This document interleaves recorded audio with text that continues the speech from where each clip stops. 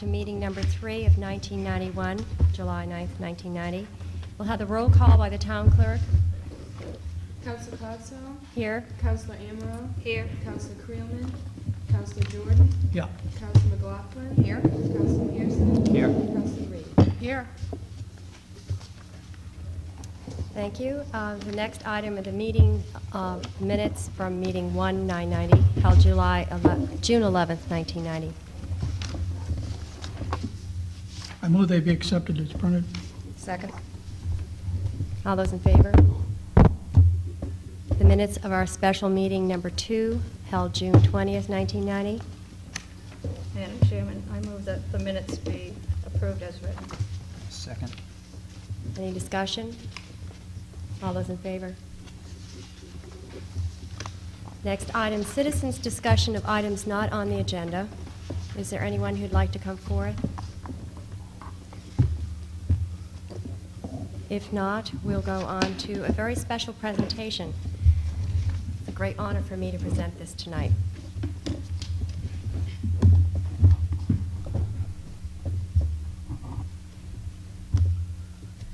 If the high school uh, baseball team would come forth, please.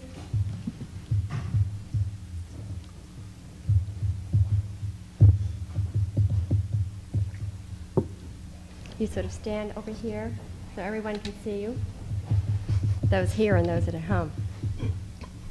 I have a special resolution from the Cape Elizabeth Town Council.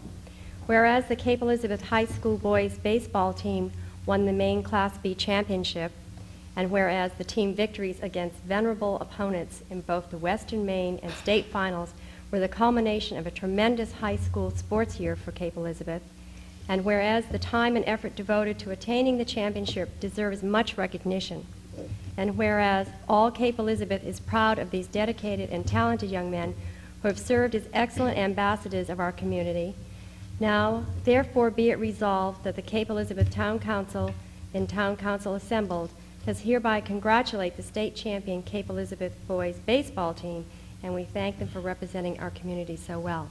Coach, congratulations.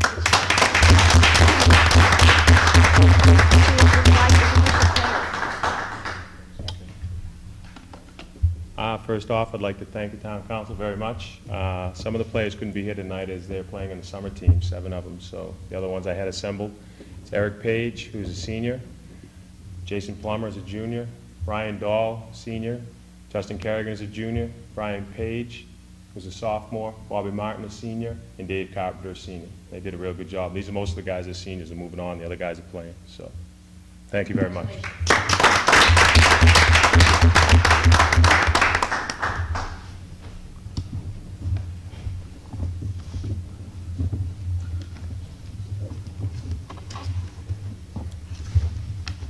And not to forget other seniors who have represented the town very well and have worked for the town very well.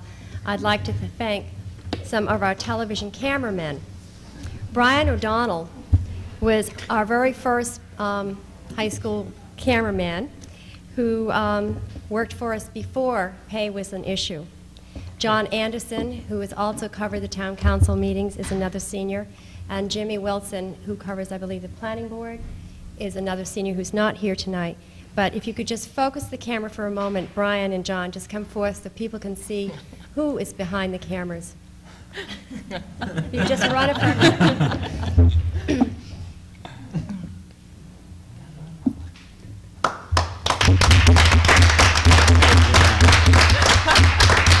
It's the- one with the red light. If you just, it's Brian, Brian and John. Thank you very much, boys. We appreciate all your work.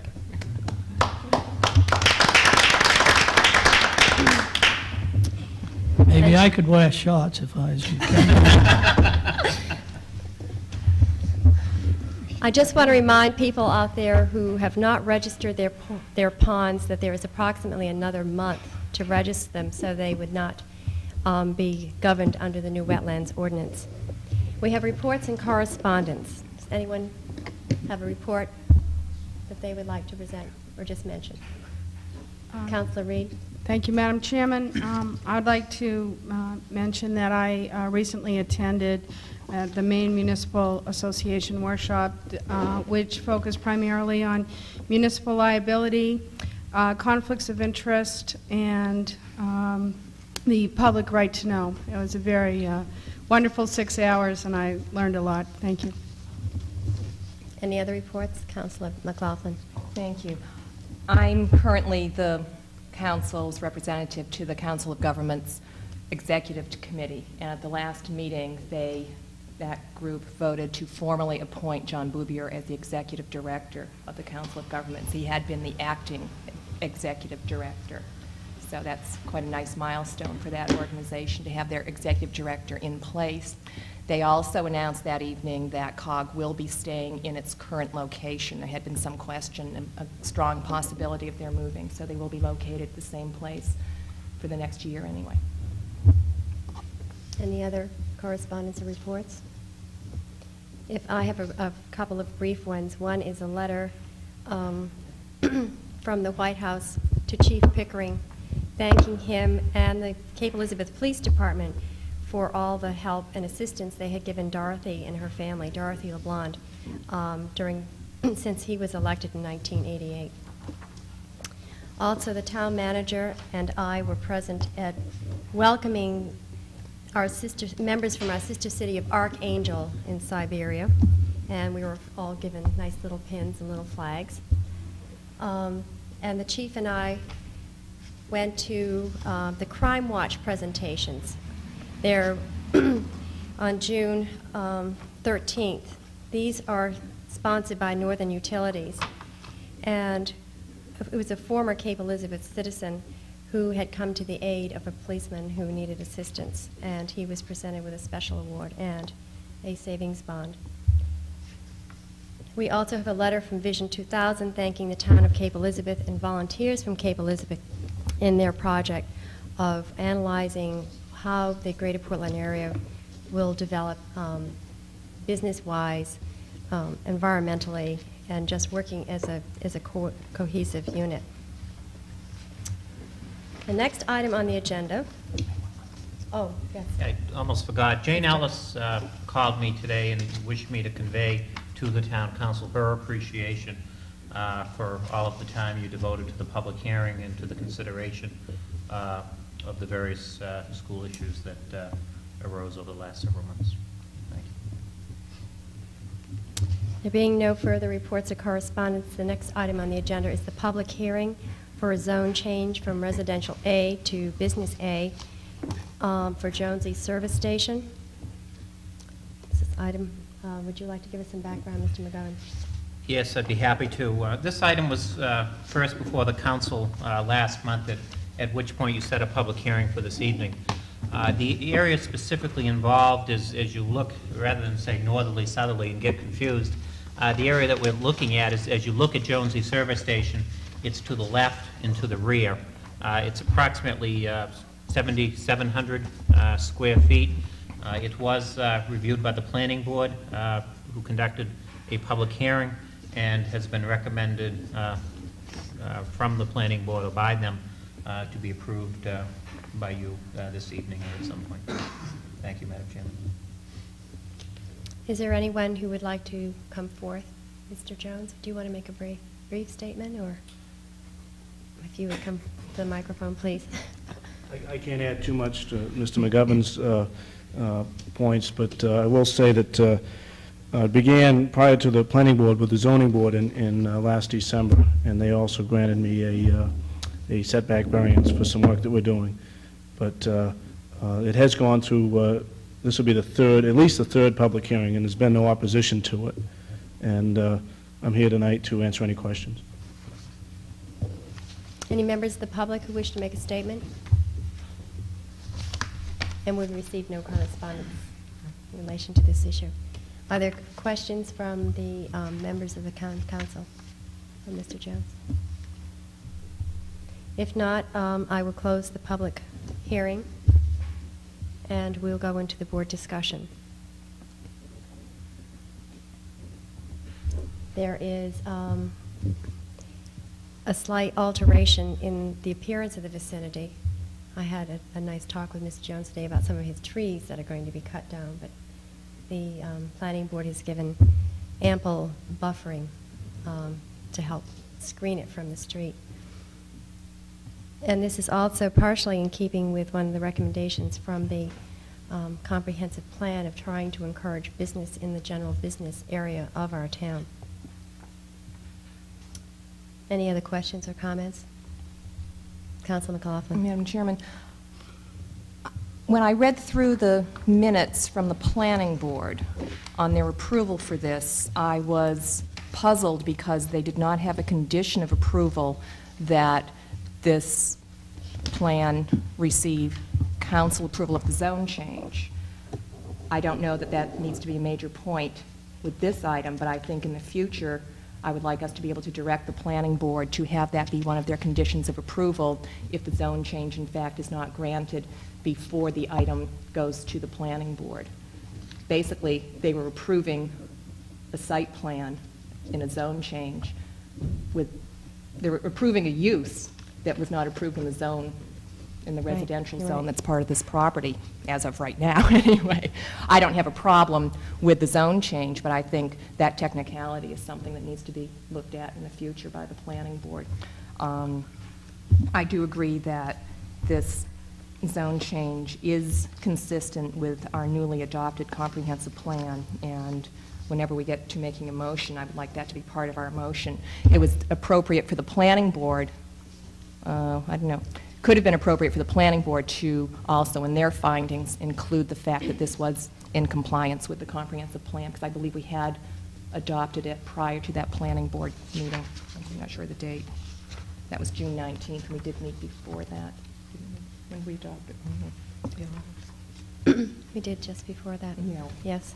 but that was rather tight time schedule from them.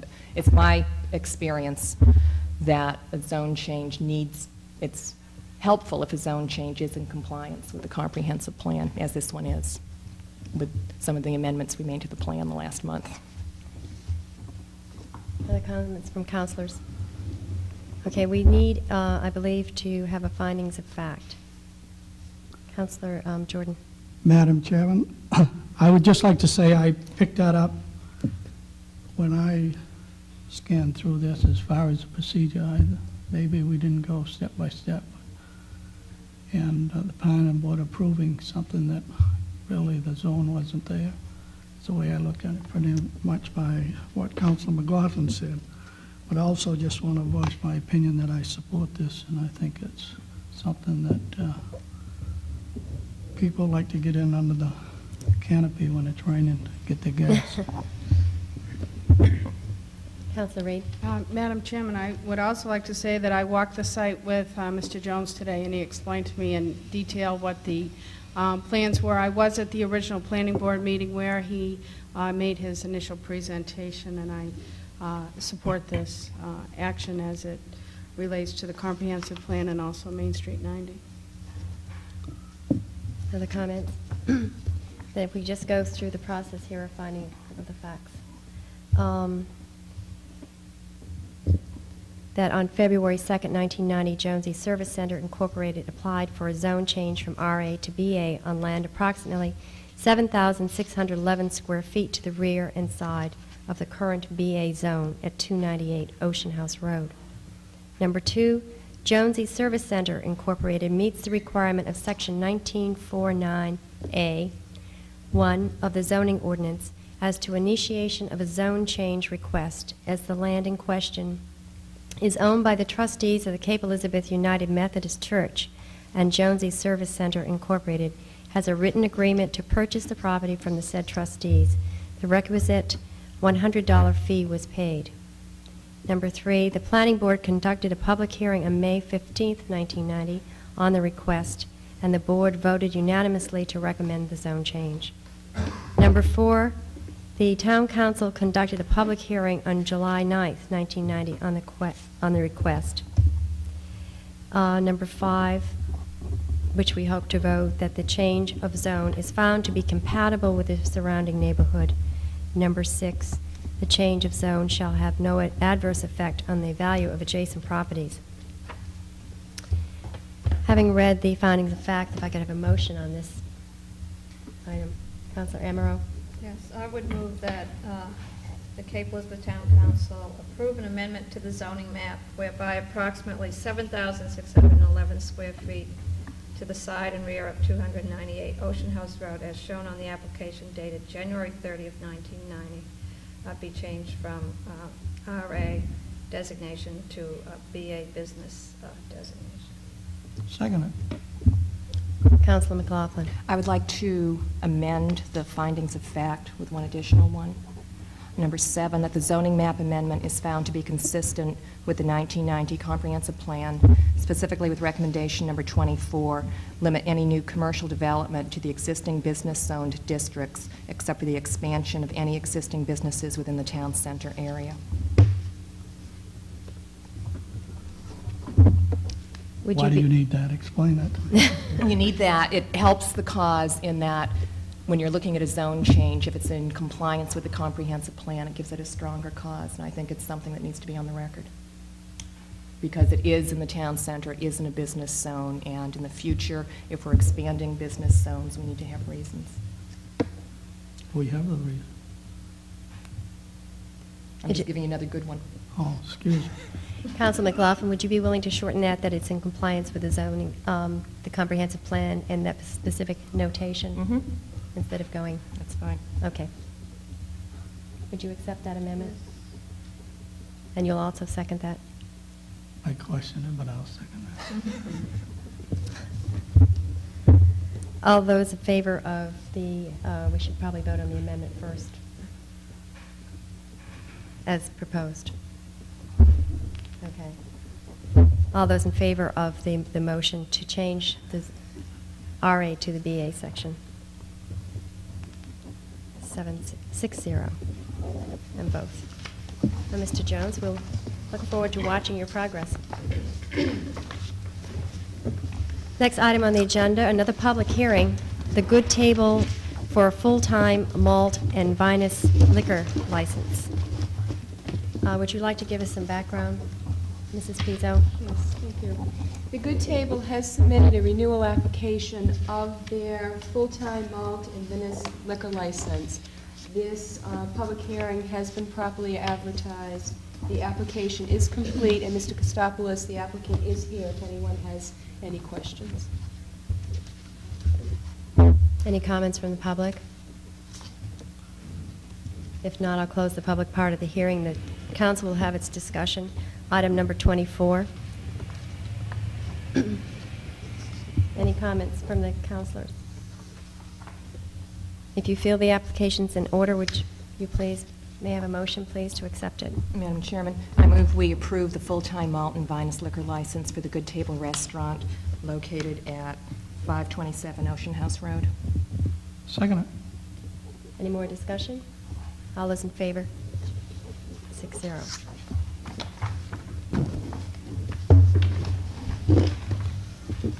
Next item, a public hearing on manufactured housing park ordinance.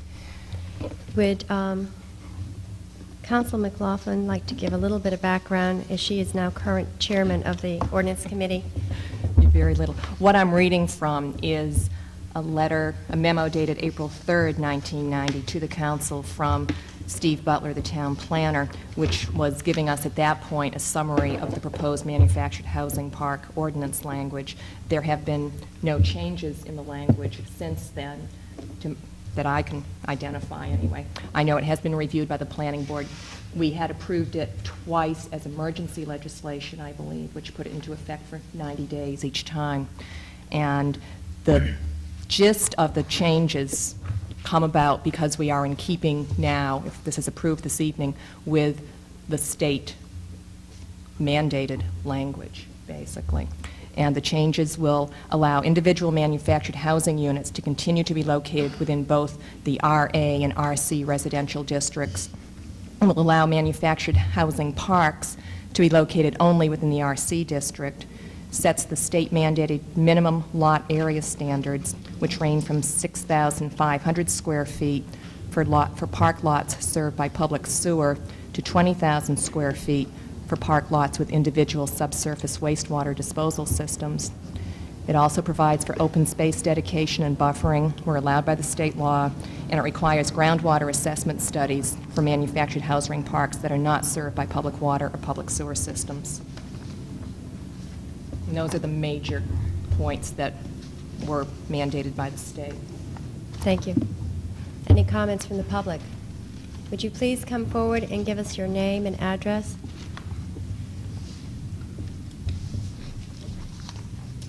I'm Jane Sneerson, and I live at 7 Salisbury Lane. I uh, didn't know anything about a trailer park till I picked up an item in the Courier and wondered what effect that's, first, I'm not quite sure where it's going to be. Second, I'm not quite sure what benefit it is to the town of Cape Elizabeth to have a trailer park. And third, I wonder what the effect is going to be on single lots. There was just one little sentence that said that manufactured housing could be placed on separate residential lots. Do I understand that properly? Ken? It can be already, currently. It can be, all right. Yes. I'm relatively new to the community and didn't know. And I just wondered what kind of, I have an empty lot next to me. Wondered what, what kind of standards uh, such housing would have to meet before it could be approved? And is that set forth someplace? Mr. McGovern, or You, one, I'll Butler. ans- try to answer both of your questions. One was what benefit is it to the town? One benefit is that we come into compliance with the state law, which is something that I know some area towns have decided to forego for the time being. We have not seen that it's necessary to forego that. I think it's important to understand the definition of manufactured housing, and some of us go, ah, yeah, trailers, right? That's not necessarily what it is. There are new standards for manufactured housing since, I believe, 1980. I'm not sure of that date, but I know that there are new manufacturing standards for those houses. And I, who deal with this issue a bit professionally, would be hard-pressed to walk down a street and say, oh, yeah, that's manufactured, that's stick-built, that's manufactured. You cannot always tell in this day and age the difference between a stick-built house on site or a manufactured house that is built in pieces somewhere else and then trucked to the site and erected on the site. Um, Some of the standards that are used, they talk about the pitch of the roof, the kind of roofing materials it shall have. It shall ha- not have, shall not have corrugated metal roofing, shall have asphalt or fi- fiberglass composition shingle. So it's going to look like the majority of houses we do currently have in town. Um, The exterior walls shall have the appearance appearance of traditional residential site-built walls. The house will be anchored on a permanent, full frost, frost-free wall foundation. Uh, Any hitch or tow bar, together with axles and wheels, shall be removed, so it would not have the appearance in any way that it had been trucked to the site. If there are fuel oil systems, they shall be constructed within the foundation or under it or enclosed, so you don't see the tank beside the building as you do in some of the older hmm. trailer parks in other parts of the state. If these individual ones are, are placed, I'm thinking particularly, of, for instance, of the lot next to me, Mhm. are they handled on an individual basis, or is, once the town approves this, is it then all right for anybody to just go ahead and do this, assuming that it it complies with, with all of these rules? Can they then just go ahead and plunk one of these things down? If it's on an individual lot, my Mhm. belief is, and I'm hoping the manager will correct anything I say that's not right, that they would need to go through the building permit process, as would anybody Yeah. doing a house construction, but that would be it, as long as it met the criteria for, in the definition of a manufactured house. Is that? That's correct. Fairly We accurate. treat it just like any other home. okay. Madam Chairman, I just wanted to point out, when you first came up, you said you didn't know where there was a proposed mm-hmm. manufactured housing park. There is not one proposed. This is just an ordinance in case someone does, okay? This is just strictly guidelines as mandated by the state. There is not one proposed right now anywhere in town. Okay, it was, Okay. as I said, I picked it up in the, in the Courier, I guess it was. and it Okay, I wanted to clarify that for anyone at home, too, that might have that Okay, question. fine, thank you. Thanks for your questions. is there anyone else? If not, I'll close the, this part of the public hearing. We'll move on to item number 25, um, to consider approving a new manufactured housing park ordinance and take any necessary action. Is there any discussion from the councilors? Councilor Amaro? Yeah, just a question for the manager. Uh, I've I've noticed that most communities have identified certain areas uh, where uh, mobile home parks uh, can be located. We- We've chosen not to identify any area, just just the Residence C zone. Uh, Will will we still be in compliance with state mandates by doing that? I, I'm not a state official. I. I, I don't want to speak for the state. I, I believe we will be in compliance. I think the- the way the council's gone about it is, is broader rather than a site-specific uh, treatment of it.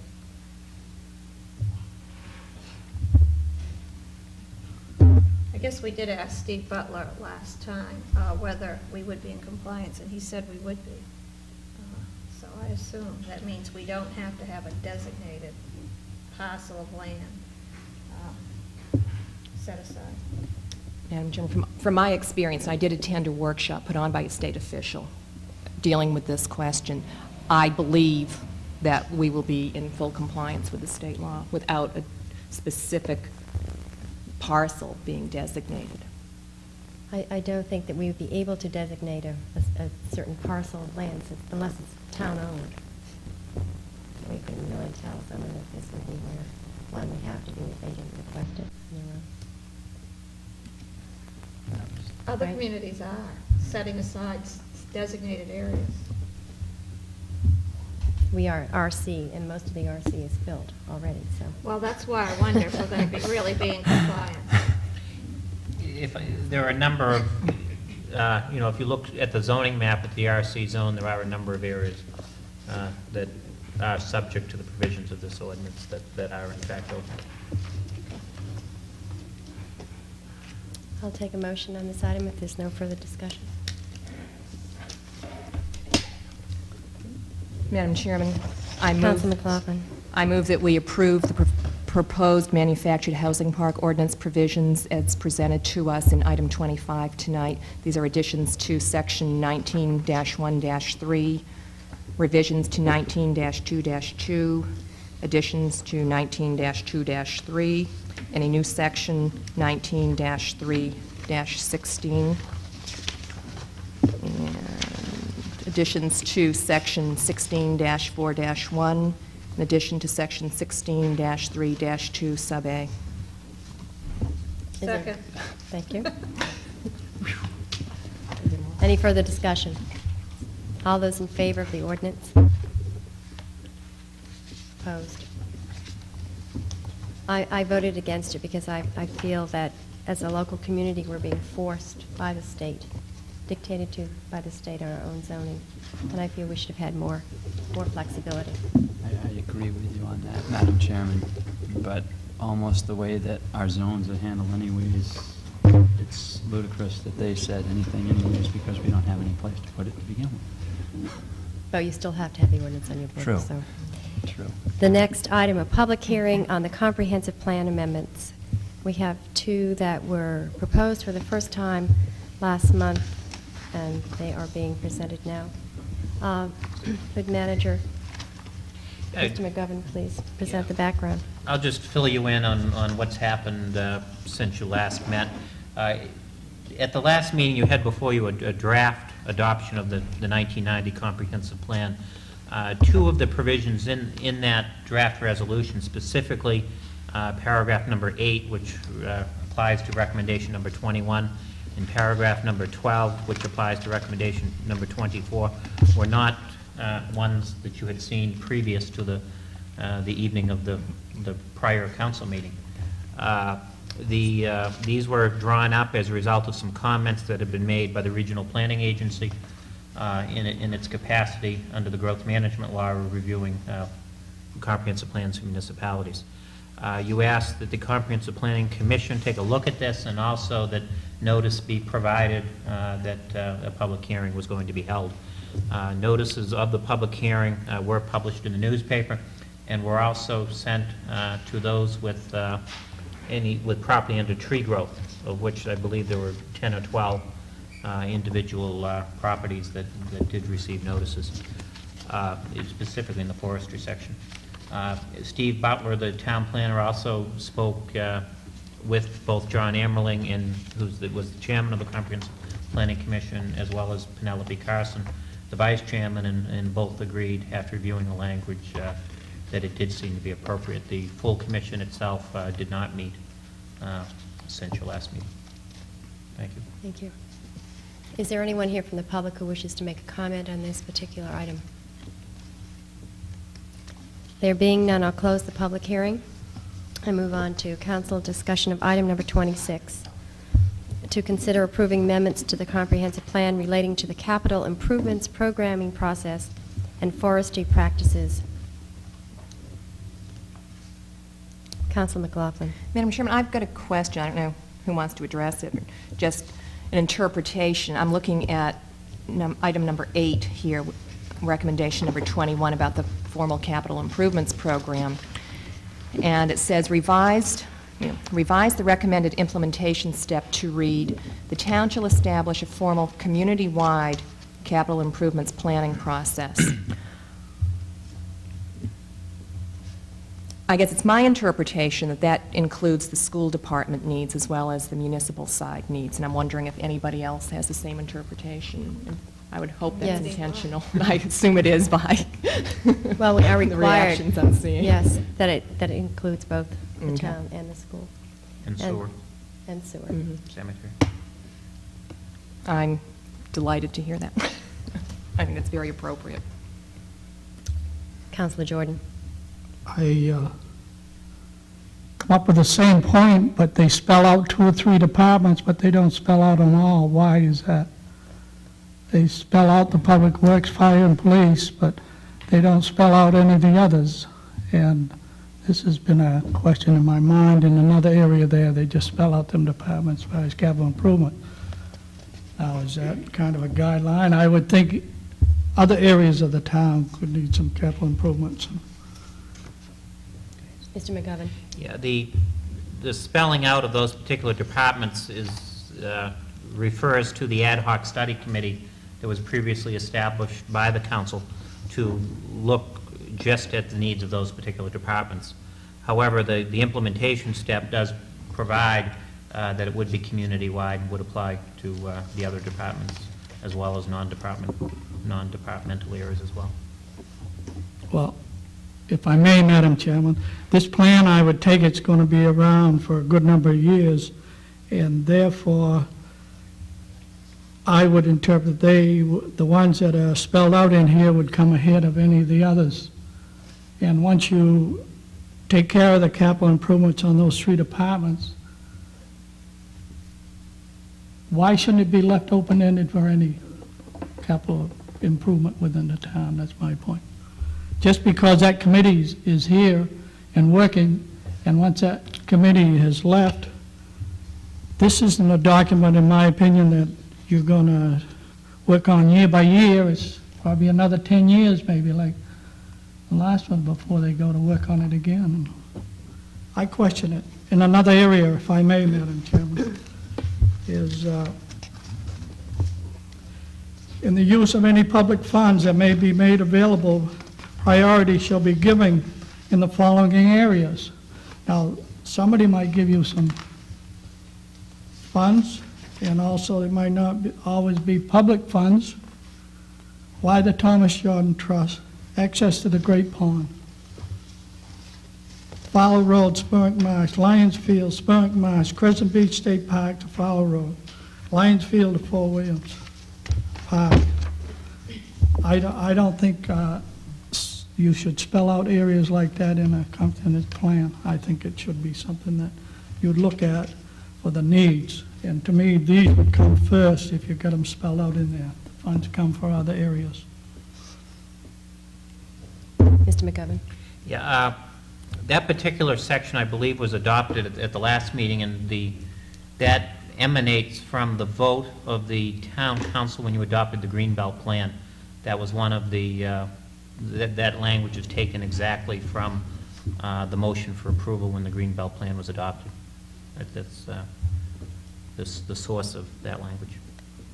So the two amendments we're really considering tonight i- are the capital improvement programming process and the forestry practices, is that right? Unless the council wishes to move to reconsider any other action. Is there, Council McLaughlin? Just a question to Counselor Jordan. Stay where you were here. Would you be more comfortable if the language there were changed and it said, "In the use of any public funds that may be made available," any non-designated public funds? If we put in the word non-designated, does that help? Is that muddy? I hear your I point, that if there I some think it muddies the water. Okay, I hear your point that there are some designated funds publicly, say, um, for Fort Williams, you couldn't use it. You'd be concerned if they would be used for some of these purposes instead of the fort. Is that, That would be my point. thinking, but I think it'll gain dust within a week or two. We'll go on without it. It's a guide. It's a Yeah. guide, and it's sort of taking out, uh, taken out of context of the Greenbelt acceptance, too. Uh, Is there a motion on this item? Uh, I would move that uh, two amendments be added to the uh, comprehensive plan.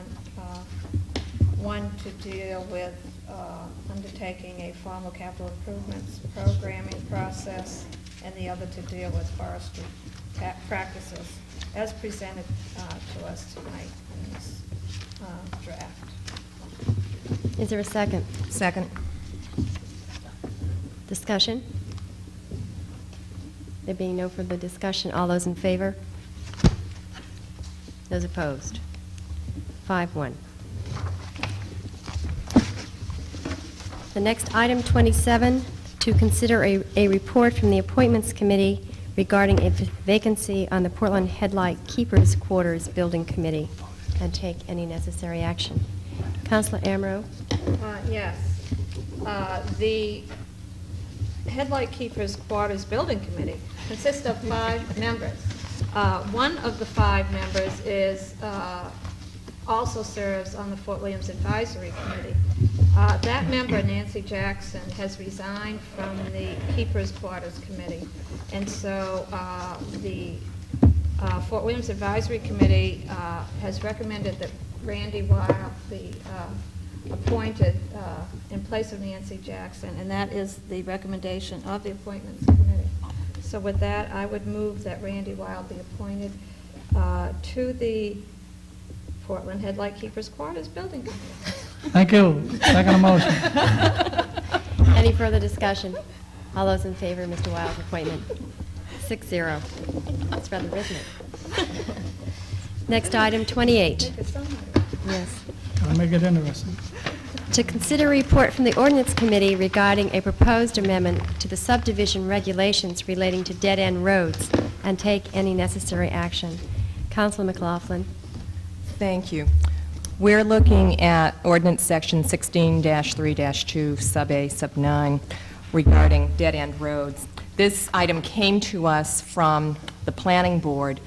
Um, In their review of subdivisions, they felt it was desirable to have the chance for more creative design than was easily allowed under the existing ordinances. And they wanted to accommodate individual site conditions while still keeping in mind and addressing the importance of safety and aesthetic considerations. Um, I did get to everybody's place this evening some revisions to the revisions that I believe are still in keeping with the intent of the planning board and of the ordinance committee. I think it's important that we have the planning board review dead-end streets longer than 500 feet. We did change what the planning board had recommended. What we had from them was dead-end streets shall be no longer than 1,000 feet unless there was a special review. In discussing this with the town planner and one of the planning board co-chairs, I said, what's the purpose of that? Why don't we just keep it at 500 feet? without special review, and anything over 500 feet would need special planning board discussion and review. We've added that things that would kick into the special review of a dead-end street longer than 500 feet would be unique design characteristics. That would be a street like the one I live on. You look at a lollipop with a large sucker end on it, where the street comes back onto itself, and there are building lots within the lollipop part, as well as lots around the outside of the lollipop part. I still consider that a dead-end street, because it has only one means of access.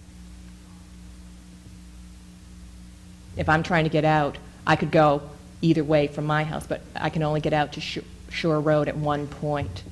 So that's why the unique design characteristics are in there, not only for my street, there are And on this next tune, beautiful ballad called My Foolish Heart.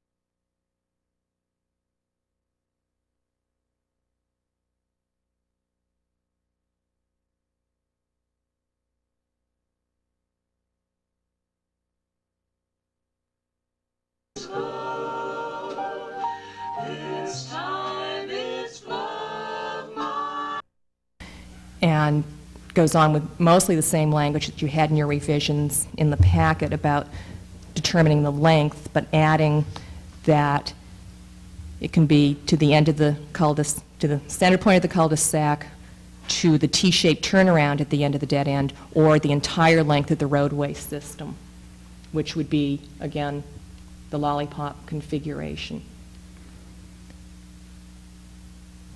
In going through the ordinance, it currently states that all dead-end streets have to end in a cul-de-sac or a T-shaped turnaround, which is not in conformance with the proposed language describing the definition of a dead-end street, which is why there's additional language this evening that if it doesn't end in a cul-de-sac or T-shaped turnaround, it needs planning board and town engineer approval for its design. I believe that, as I said, all of the language presented in the packet revision sample and what is given out this evening do meet with both the intent of the planning board and the ordinance committee in discussion. And one possible thing for us to do is to set this to public hearing for next month, at which time the public could res- respond and come forth with any concerns, also the planning board members if they have any concerns. Thank you. Discussion from members of the council. Questions of, yes, Mr. Councilor Jordan. Madam Chairman, uh, which, which one here would we be setting for a public hearing? The revised one we received this evening or the other one? The one we received in our packet, Could be either one. or both? No. you No, it'd one. have to be one or the other. I, uh, if I may add a little bit, but I'll save it for the public hearing, but I just throw out a question in my mind of your lollipop type deal that you spoke about, is that you can't go in a thousand feet and then make that lollipop, is what you're saying. And you can't go in 500 feet and make that lollipop. Is that correct? The thousand feet's got to start from the main drag in and uh, to the farthest point on your lollipop? Is that what you're saying? I didn't, you went around your lollipop so many times. got I lost him. Okay, got a Now, draw lollipop. me a We're we're drawing draw me a pictures here. picture. You have to show it to the camera, so do a good job. Put a bird's nest on this tree. I'm saying that if this entire distance is longer than 500 feet, it gets reviewed. I think it would be reviewed anyway, wouldn't it? I'm Because gonna- there's going to be X number of homes on it, so the planning board would be reviewing it anyway, wouldn't it? It's reviewed, but it's not reviewed as a dead-end street necessarily. Oh, I see. Unless it's like that. I'll pass, still a dead-end street. But you start measuring it from the end of the lollipop stick and around. Mhm. That's what you're saying. Start at the base of the stick and go up the stick and all the way around. It it begins at the point where only one means of access. Mhm. So that would be the entire one. Other discussions from members of the council? Councilor Pearson? Yes, I'd, I'd just ask that if this does go to public hearing, uh, maybe beforehand, I don't know what the protocol is, uh, that Chief Webster and uh, Chief Pickering uh, have some comments. Maybe they could educate us on their thoughts on this as far as a public safety concern. No, as to the language here. You know what that's, the new language. The new language that, which was submitted this evening. Right, when we started talking about lollipop. Okay. They will be consulted um, to see how, how they feel it affects the public safety. Is that correct, Mr. McGovern? And you will be asking them to comment on this new language if we decide to set the new language for public hearing next month. What does the council wish to do? Which of these? Do you want Madam- to set to public hearing, or do you want to refer any of it back to the ordinance committee? I know I'd like to, Madam Chairman, I'll move that we set for a public hearing on August 13th, 1990 at 7:30 PM at the Town Hall, the lollipop revision of the ordinance, proposed revision of the ordinance, section 16-3-2. Is there a second? Second. Any further discussion? All those in favor for setting this public, the second version for public hearing in August? Six zero. And Mr. McGovern will have a report in our packet from the chief and both chiefs, correct? Item number 29, to consider a proposed deer reduction program and take any necessary action.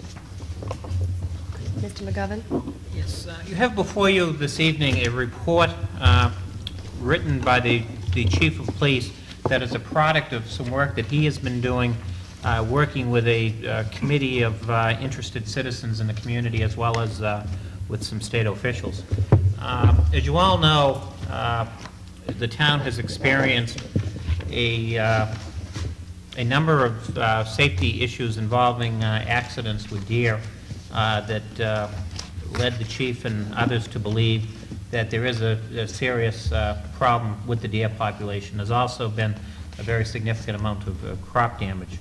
Uh, the- Most of this is uh, information, summaries of it are contained in the report before you, and I- I'll leave it up to the chief to uh, review those issues. Uh, I I really would like to praise the chief of police for convening the group to, to look at this very serious community concern. Uh, He did it in part working uh, particularly with, with one uh, very large landowner in the community who met with the Commissioner of Inland Fisheries and Wildlife with the chief. The program that is proposed does have a number of significant, or perhaps significant, uh, involvements uh, by the Cape Elizabeth Police Department in a proposed deer reduction program that would be operated by the state. Uh, You know, I think you can look at this issue as a number of different, look at this issue uh, one of a number of different ways. Uh, One is to look at, you know, is this uh, a problem that needs to be addressed? Yes or no? Uh, And determine whether or not from that, is it, is it one that the town council should be involved in addressing? Secondly, and I think, you know, perhaps the, the major point before you is for you to determine whether or not this is a- an appropriate role uh, for our police department. Uh, You know, I- a lot of people have mixed feelings about uh, wildlife management techniques. And, uh, you know, I, I don't know if there's any experts among us uh, on wildlife management. Certainly, I probably have less expertise than anyone in the room. Uh, But, you know, I, I do think it's a very important public policy issue as well as a public safety issue uh, to, to see uh, what the, what if any role our department should have in that. With that, uh, I will defer to the chief of police uh, to uh, give a summary of the report and to uh, answer any specific questions you may have. Thank you. Why does this issue have to follow lollipops? You know, the deal I got, As the town manager uh, explained to you, this, this product that you have before you uh, is a third draft copy of, uh, of a program that was put together by several major landowners, uh, members of the uh, State Department of Inland Fisheries and Wildlife, the regional wildlife biologist, the uh, regional game warden, myself, and uh, another member of the police department. It was in response to a number of complaints and concerns that I had received from major landowners complaining about crop damage, uh, which has totaled over $60,000 in the last year. Also, the amount of uh, car deer accidents that we've had have been significant. Uh, 15% fully of all of our accidents in Cape Elizabeth, motor vehicle accidents, are car deer accidents. Uh, Statewide, it's 5%, and that's 5% for all animals. That includes moose, bear, deer, dogs, uh, you name it. So we're significantly higher than uh, other areas of the state of Maine. We've had 34 accidents in 1989, calendar year 1989. Uh, We expect that number to be higher this year. I just- I think beginning of 1990, we've already had uh, 10 or so. And of course, the spring is probably the quietest time of year for that. Um, Another area is that it was simply been overpopulated with deer, it would seem. And I have uh, a report uh, in my office from uh, a regional wildlife biologist that was conducted some years ago. He had estimated that in the Sprague property alone, uh, that there were 90 to about 120 deer per square mile. Uh, The state average is about 15. So that is another indication that we really have uh, uh, a resource that's gone, grown beyond what we can control here in the Cape through conventional methods. And I'd like to talk about that just for a second. Uh, They'd recognized this problem's been in existence for probably 10 years. And 10 or 12 years ago, I can recall that they had a program where they tried to live trap the animals, they tried to tranquilize them and remove them to other areas of the state, and it just didn't work. I think they got uh, four or five deer uh, all year. Uh, It wasn't cost effective, and it just simply didn't work. They've also tried uh, sterilization techniques in other areas of, of New England, which hasn't been particularly successful. They don't expect that they're going to have any greater success in the Cape. So this method that you have uh, seen before you is one that's been in place for several years. Uh, Bow hunting has been allowed to exist for years. In fact, through Title 12, a municipality cannot regulate hunting. The only thing that we can do as municipal officials is enact ordinances to prohibit the discharge of firearms, and we've done that. So bow hunting is really uh, something that's been reserved for the state to review and to allow to continue. I say that because I'm not sure what impact we would have tonight if we felt that this entire method was unsavory and we didn't want to pursue it, uh, because that's something that the state ultimately controls. My reason for being here tonight is uh, primarily, as uh, the town manager explained to you, to find out if you want the police department to continue to help assist in coordinating this effort. It's my recommendation that you do for a couple of reasons. Number one, we have just lost our uh, area game warden. Uh, He retired a week ago Friday, and he does not, they do not plan to replace him. So what we would have to do if we needed a game warden on site is to call uh, Gray. Gray would pick somebody in the area to send them down. There's really no one that's going to stay on top of this particular project. Uh, Secondly, it involves about four or five major landowners in town. I think it's a local issue that's, uh, in a local problem that really deserves some attention uh, from the community. We seem to be the best resource for that. Uh, There's going to take some coordination after the project gets underway, both in registering vehicles, doing record checks on the hunters. Uh, They'll have to pass a proficiency test to become involved in this program. Uh, And just the overall coordination of it, I think, deserves some local attention through the police department. And beyond that, I'm uh, here to answer any questions. Other questions from the Council Amaro? Uh, If the state's not going to replace the game warden in this area, Right. does that mean it's going to be a total town responsibility? then? No, uh, not a total town responsibility. It's just that we don't have that resource that we can look to to assist in in coordinating this effort. uh, they're going to pick somebody from, or Gray. If we need somebody down here uh, for any wildlife issue, we're not going to have one person that we could, you know, formally look to to solve these problems. We had a resident warden, and that resident warden is now gone, so we've got to go in, got to go into the pool uh, for those officers. Well, who will, uh, when the deer are killed, and who will tag them, and who will make sure it was done properly? That's going to be done by the landowners themselves, and uh, the Department of Inland Fisheries and Wildlife uh, has agreed to uh, provide the tags. Seawood Nurseries has uh, offered to use, let us use their facility. The- the hunters can tag the deer, uh, they can get weighed at that point. There are also some biological studies they want to take uh, on the deer. We've also invited Dr. Rand, uh, who's here this evening, uh, to use those, um, use this opportunity to further his research in deer tick and and Lyme disease research. So that will be one central staging area, but primarily the hunters themselves are going to be responsible for it, overseen by members of this organizational body. Will not be the police department, we would not be doing the tagging. Another reason why we didn't really want them to, uh, to tag the deer at the police station. We wanted off-site. Counselor Pearson. I just have a question, Chief Pickering. Uh, Cost, any estimates of how much time your department's going to be involved and what that might entail as far as manpower, et cetera? The major cost uh, will be in my time, and historically, we've not charged for my time, which says something, I'm not sure what that is. Uh, We've got one other officer that's going to assist me in that, uh, the- and it will be on, uh, on department time, regular department time, there won't be any overtime costs involved in it. The only actual involvement we will have in it is on a one-day program, as it uh, mentions in your handout, Uh, and that was primarily my idea, because I want to get these people together and explain what the community sentiment is. Uh, You know, protocol for tagging the deer, where to register their deer, uh, any problems, who to come to and see. So that is uh, tentatively scheduled for a Sunday, and I would donate my time for that, or I'd be out- available for that. But as far as, there are some paperwork costs involved, and I'm not sure that nominal. Counselor McLaughlin. I really have to preface this by saying that Bambi is my absolute favorite movie. However, I did grow up in a hunting family, and I'm supportive of this kind of program. I appreciate Carl's question. That was one of mine also. I'm, how long is this going to go on? How long a season? Is it, October 1st to December 1st, which is the regular bow hunting season, by the way. okay. And if I were one of the people who came to your Sunday orientation, what could I expect out of that?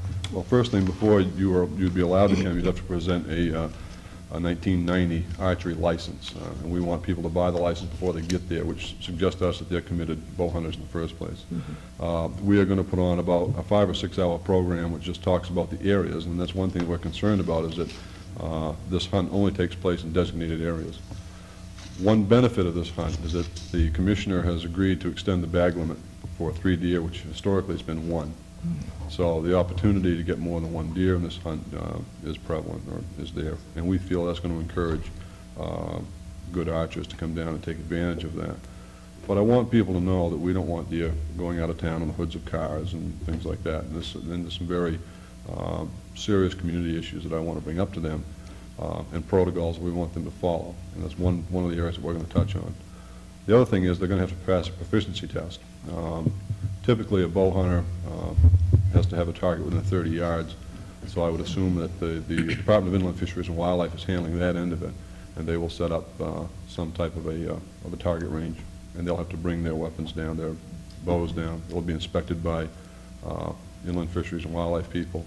They will pass or fail this proficiency exam. At that point, it will be up to the landowners to select their hunters and to put them in their locations. So we're not even having any, any involvement in that. And typically, uh, I can think of two major landowners who've had several hunters for the last several years and have had good success with them, and they, you know, uh, they've been good, uh, good sportsmen.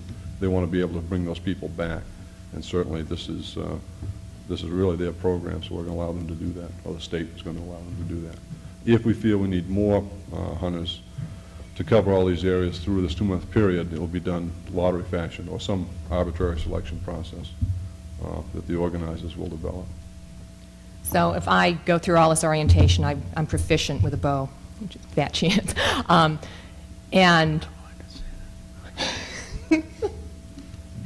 being editorialized over here. And the landowner, for some reason, doesn't want me on his or her property. They can say yay or nay. Right.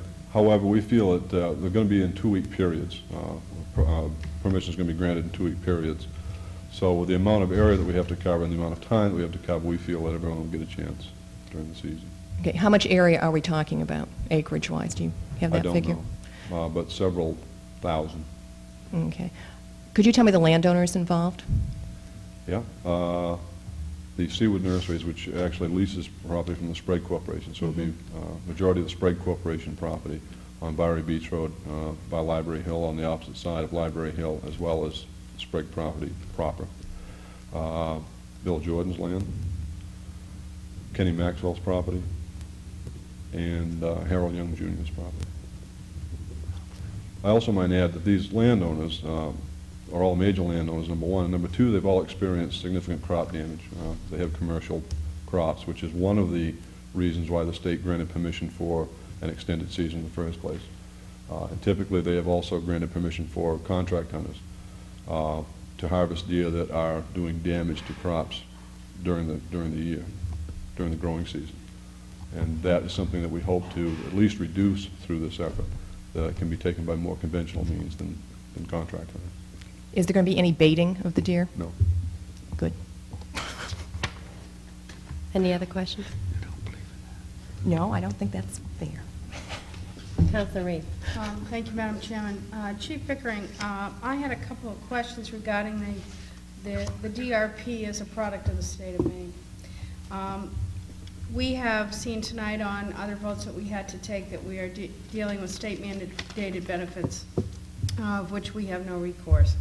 Um, I was just wondering where the deer reduction uh, program is a product of the state, and that all harvesting activity and other methods of deer population reduction um, is to be approved, sanctioned, and sponsored by the Maine Department of Inland Fisheries and Wildlife, um, why it is before the town council and not a state-administered program. Simply for my involvement, for the police department's involvement.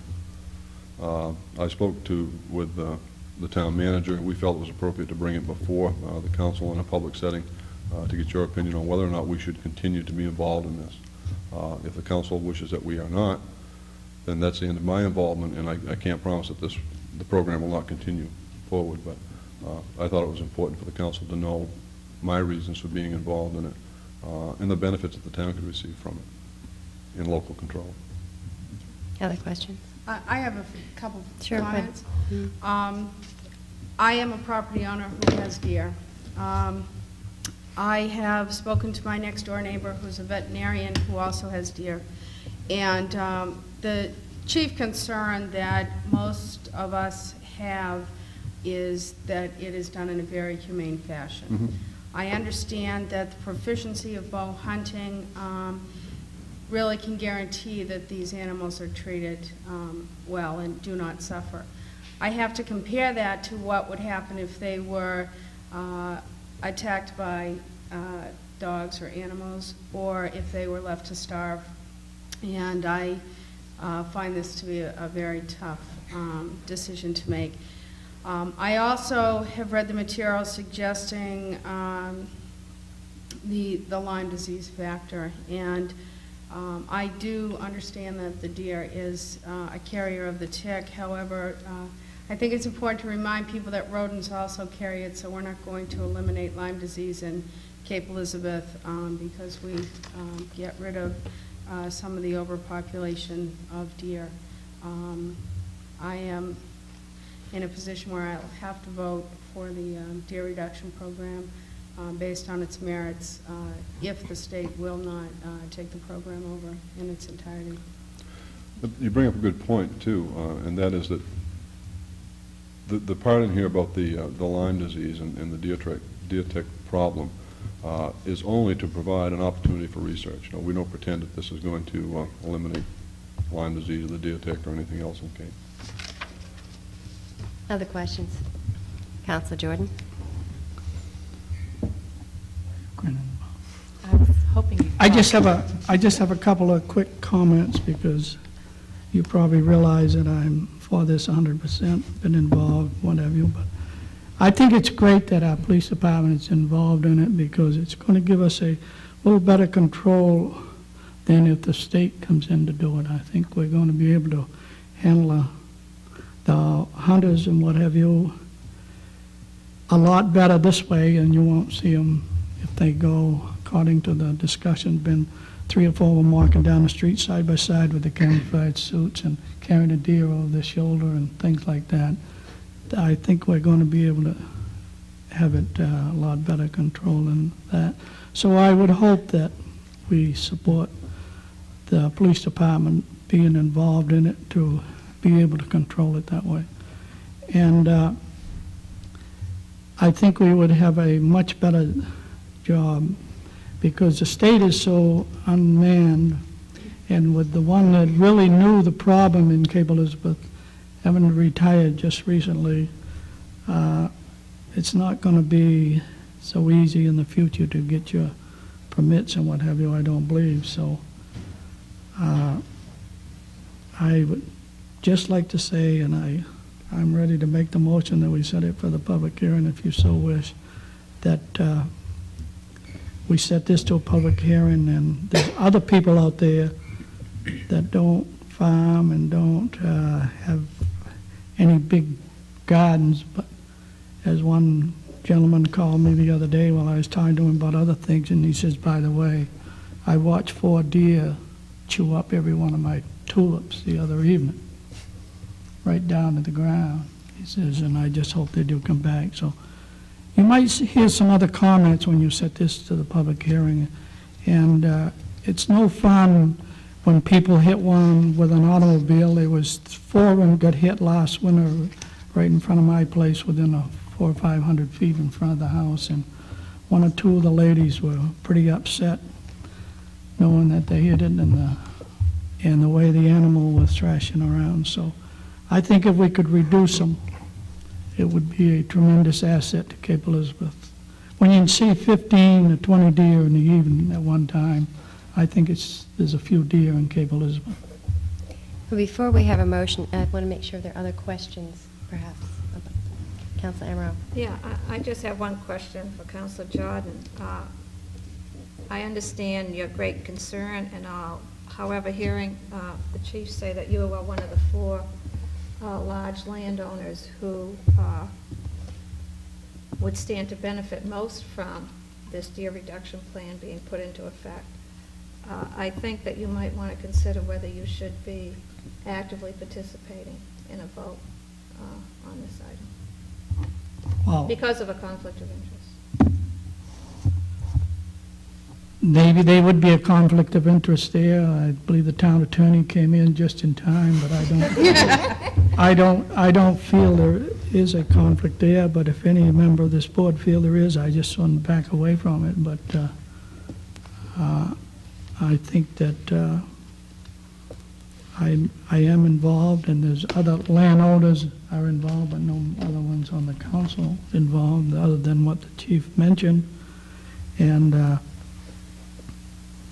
if you feel it's a concern as far as of being a conflict, I, I don't, but uh, we'll, we'll move on, and I will not make the motion to set it for a public hearing then.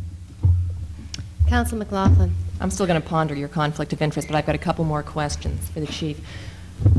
This is for any deer, buck, doe, yearling, any size, shape, color? Yeah. Is that right? Not just bucks.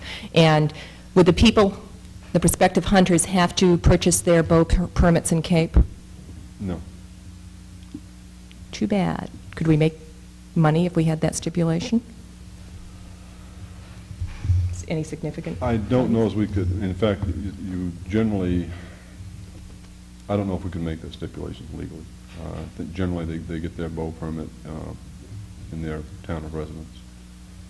There will be certainly a number of people from the Cape that will, Mhm. will have interest in this, more so than in prior years, so I would say that revenues from that will go up. Um, But considering the town share as opposed to the state share in, in, uh, in a deer license, I don't think it's going to be a significant dollar anyway. Okay, thank you. Councilor Reed. Thank you, Madam Chairman. Um, Chief Pickering, uh, is the bow hunting season 30 days longer than the standard deer hunting season? No, this is the actual bow hunting season, October to December 1st. And the standard deer hunting season, sir, do you know what that is? Uh, That's usually the month of November, that's for firearms. Bows are one month earlier in the entire month of November. So this period that we're looking at tonight is 30 days longer than a normal deer hunting Yes, season? longer than the firearms hunting season, yes. Thank Yeah. you. Other questions? Chief Pickering, I have a few questions, too.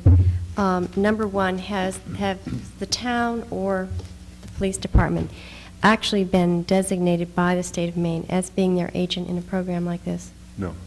Been Will- actually designated, no, other than the fact that I have met with Commissioner Vail uh, and other members of the Department of Inland Fisheries and Wildlife.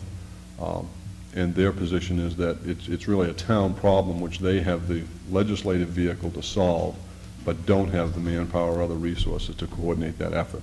Uh, And, and for that reason, we are involved. Are such programs in process in other parts of the No. state? In fact, this is- will be looked to as a pilot program for other areas uh, of the state which are suffering from the same problems, uh, primarily southern coastal communities, Wells and Ogunquit. uh, Those areas have very similar problems, and they would look to us, or look to this program uh, in hopes of modeling it in other areas. And I have another question as to, I know there has been an ongoing study of the deer tick. Have, has there been any contamination with the Lyme, of Lyme disease in any of these ticks that have been discovered in our deer? I mean, do we know it's present? Dr. Rand is here, and perhaps he should speak to that with uh, much more knowledge and authority Would you do. like to come to the microphone, Dr. Rand, please?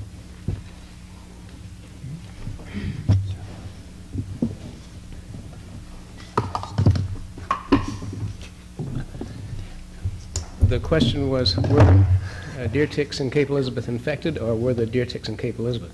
I know, I'm sure there are deer ticks in Cape Elizabeth, uh, but are they infected, the ones that We don't know the answer to that yet. Perhaps by having uh, higher access to ticks, as this program would provide, we could find that out, although the adults that are on the ticks are not the best way to find that out. I I, uh, am quite sure that one would find infected deer ticks in Cape Elizabeth. However, uh, I think there have been uh, probably two cases not reported that have been treated uh, from people in the Cape, and we know of at least one animal uh, that has uh, contracted Lyme disease here. And they did contract it here? Yes, but still, the infection rate in ticks in southern Maine is much lower than it is in, in states where Lyme disease is a major problem, so we don't Right. look at it as being a major, major health problem. I just wanted to know if it, if it had arisen at all. Okay. Um, The other, I just had trouble with your, in your presentation with this term, organizational body. Um, It it would consist of whom? And would there be any actual written guidelines that we could peruse so we'd really know what was going on instead of just giving authority to this body? Well, the term organizational body uh, surfaced after, after a uh, uh, local town official had an aversion to the term committee. So that's how we come up with that rather lengthy title for this group. Uh, But the group consists of the major landowners that are involved, uh, the state, the regional wildlife biologist. Uh, Heretofore, it had included the game warden in the area, and he Mhm. has indicated an interest in, in staying at least uh, on this committee or on this So an organizational advisory body. of sorts? Excuse me? As an advisor? Yes. And myself. Has the manager, as being the, the head uh, administrative person in the town, has he been involved in any of these discussions or the development of this program? It's been pretty much preliminary. Uh, There's been many changes on, on all of these redrafts. Uh, It would be my intention that if it was the, the council's wish to go forward with this program tonight, or at least our involvement in it, uh, he would certainly have involvement in it. And will there be a limit to this, if, if we did approve this um, program? um, Did you want it to be ongoing year after year, or do we um, approve it for one year at a time, and then you reevaluate each year? I would recommend uh, one year at a time. For one thing, we're not, not sure of the success of the program, you know, how much of an impact it's going to have. It is our hope that it, that will have significant impact. But I think we're going to have to wait till after one season, take a look at it, see if there's any problems that we've had and and how we've managed to uh, uh, mitigate those, those problems, and to find out what the harvest is going to be and how it affects the overall herd. And uh, we have three things we're going to be looking at, aside from biological data or with biological data, and that's with our action statistics and crop damage reports, to see if those decrease with this. Yeah, I think I heard you say that there were sort of designated areas within the larger properties where the hunting will be conducted. Right. They won't have free roam over, over the area. And these areas are somewhat isolated from any abutters, That's correct. I want to be quite clear, though. residences in particular. That we really, if, if another landowner in the Cape who has two or four acres of land wants to allow bow hunting on their property, we can't control that. We cannot control hunting. But the people that are going to be involved in this season, in this particular season that, that offers an extended bag limit or an increased bag limit, they will have to hunt in designated areas, in fact, in designated stands. But, uh, and, and typically, we couldn't have, we couldn't have affected that in prior years. Anyone can, can hunt here with permission of the landowner. So essentially, this has been going on Yes. anyway. Yes, it has. But the reason we're becoming more involved is, number one, you would be a coordinator. Right. And number two, the increased limit. Right, exactly. Counselor Reed. Uh, Madam Chairman, if I may ask the chief one more question. Um, I read in my packet of materials that last year over $37,000 worth of personal property was damaged. Do we have any body, bodily injuries that were reported as a result of impact? We have one bodily injury that was upon Two Lights Road, in fact, yes. Un- And uh, do we have an estimate of the unreported damage? No, we don't. Uh, That is uh, an important point, that that is only re- reported property damage. I'm sure that there have been several accidents where somebody broke a headlight or whatever and continued on and did not report it. And that, by the way, is also the ones that we recovered deer on. Several of them, the deer were hit, and perhaps went off in the woods and died at some other point, but the deer were recovered on those accidents. So conceivably, we could be at two or three times the reported damage? We could certainly be, yeah, we could certainly be more than that, that particular estimate, yes. We do have our attorney here, but perhaps you could answer this. Um, One of the requirements would be that the hunters would sign a hold harmless agreement. Um, What sort of, how much legal standing would that have? I've already been in conversation with, with Tom about that, Tom Leahy about that, and uh, doesn't seem to be a problem. In fact, we would uh, like to incorporate that into an application process. Uh, But before he did a great deal of work on it, I wanted to get the feelings of the council tonight. Uh, But I think it'd be probably fashioned under typical harmless agreements that we use for anything from uh, towing automobiles to whatever. So you feel basically this is not going to affect your budget for next year, because you know how tight the purse strings are. Uh, Not significantly. no.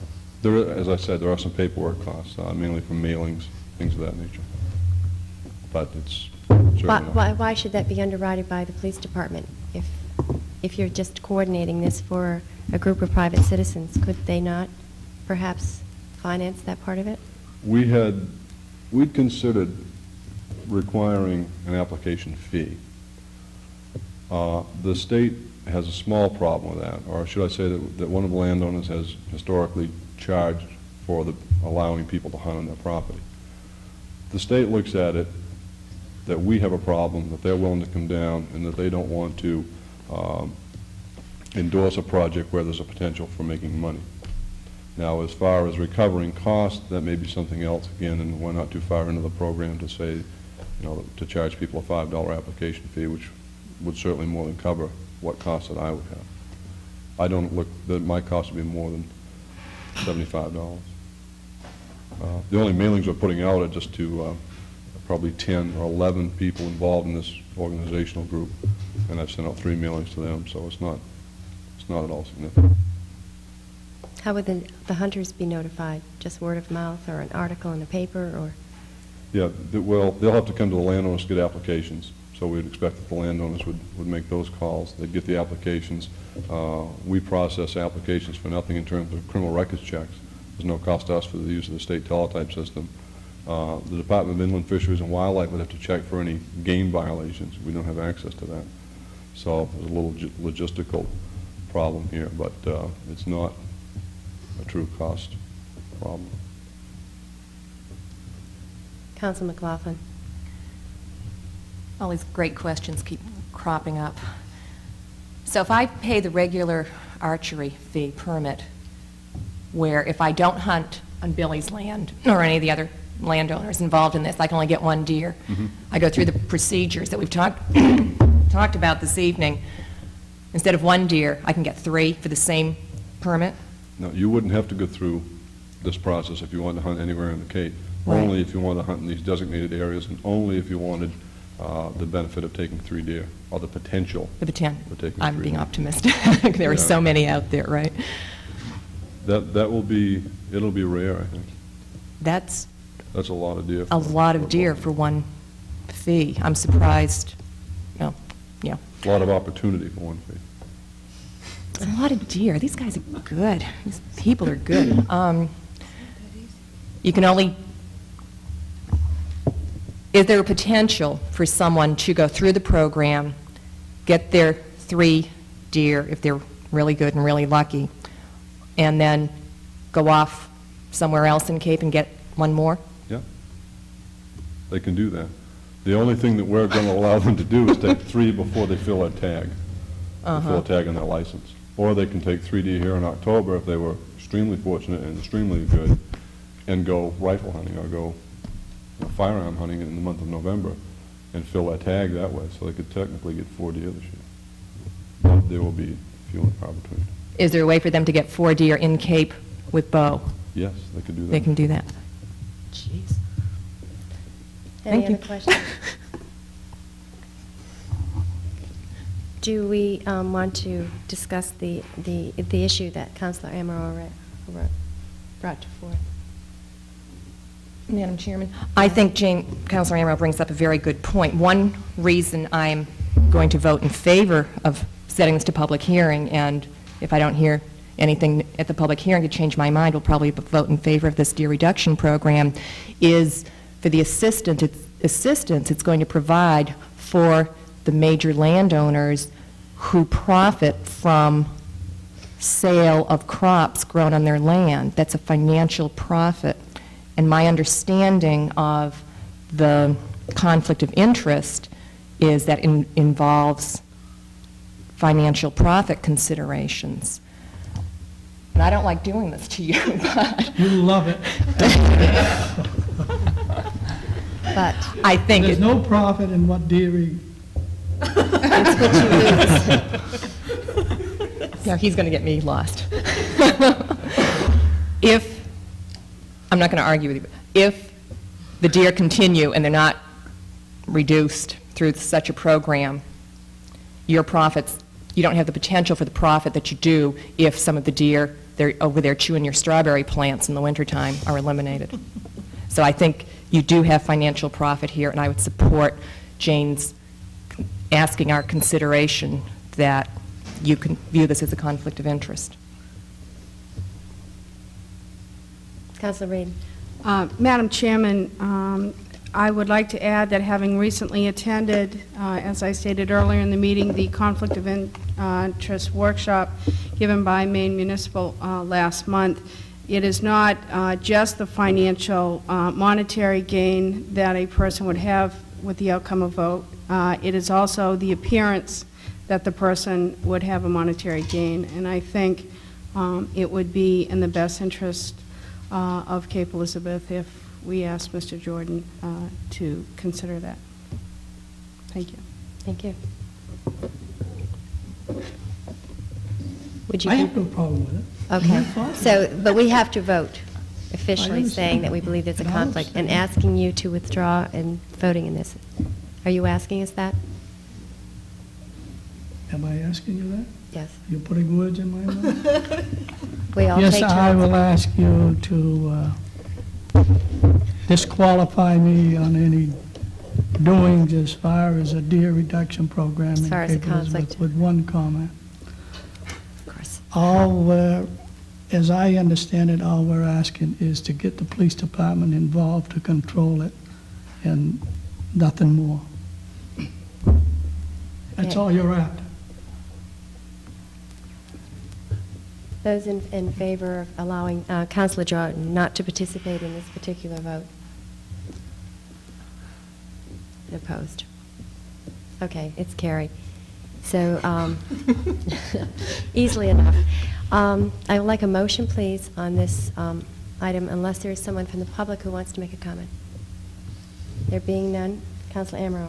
Yes, uh, I'd like to move that we set this item for public hearing on August 13th uh, at 7:30.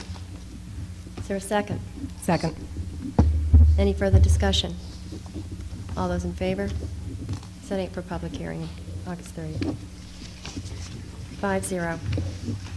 Thank you, Chief. The next item is number 30, to consider approving a fee of $30 per hour for private work vouchers for police personnel and confirming other town fees and take any necessary action. Mr. McGovern, would you like to just review this item for us? Yes, you have before you a uh, fee schedule dated July 9th, 1990.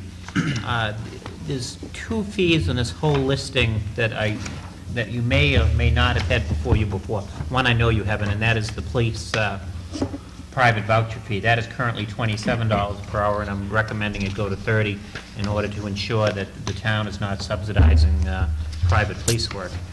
Uh, The second fee is for these, the cost of the zoning ordinance, and that was previously $5, and it is, as it has now grown to uh, about 70 pages, I'm suggesting uh, that that go up to $7. Uh, be- Beyond that, I believe all these fees you've seen before. If there are any that you you have concern over and you'd like me to look into more of the costs, mention them, and, uh, you know, I would hope you would confirm these this evening, and I can come back with a report on uh, other fees of interest to you. Any comments? Counselor Reed? Um, Yes, Madam Chairman, would it be possible to ask the chief to uh, comment, or the town manager, on how many parking tickets are um, dispensed and how many are collected in the town? Would you care to respond to that, Chief Pickering?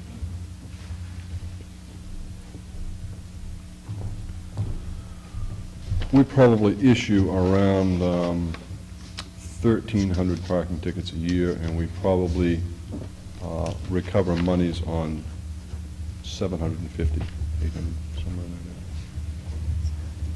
We have a little bit better than 50%.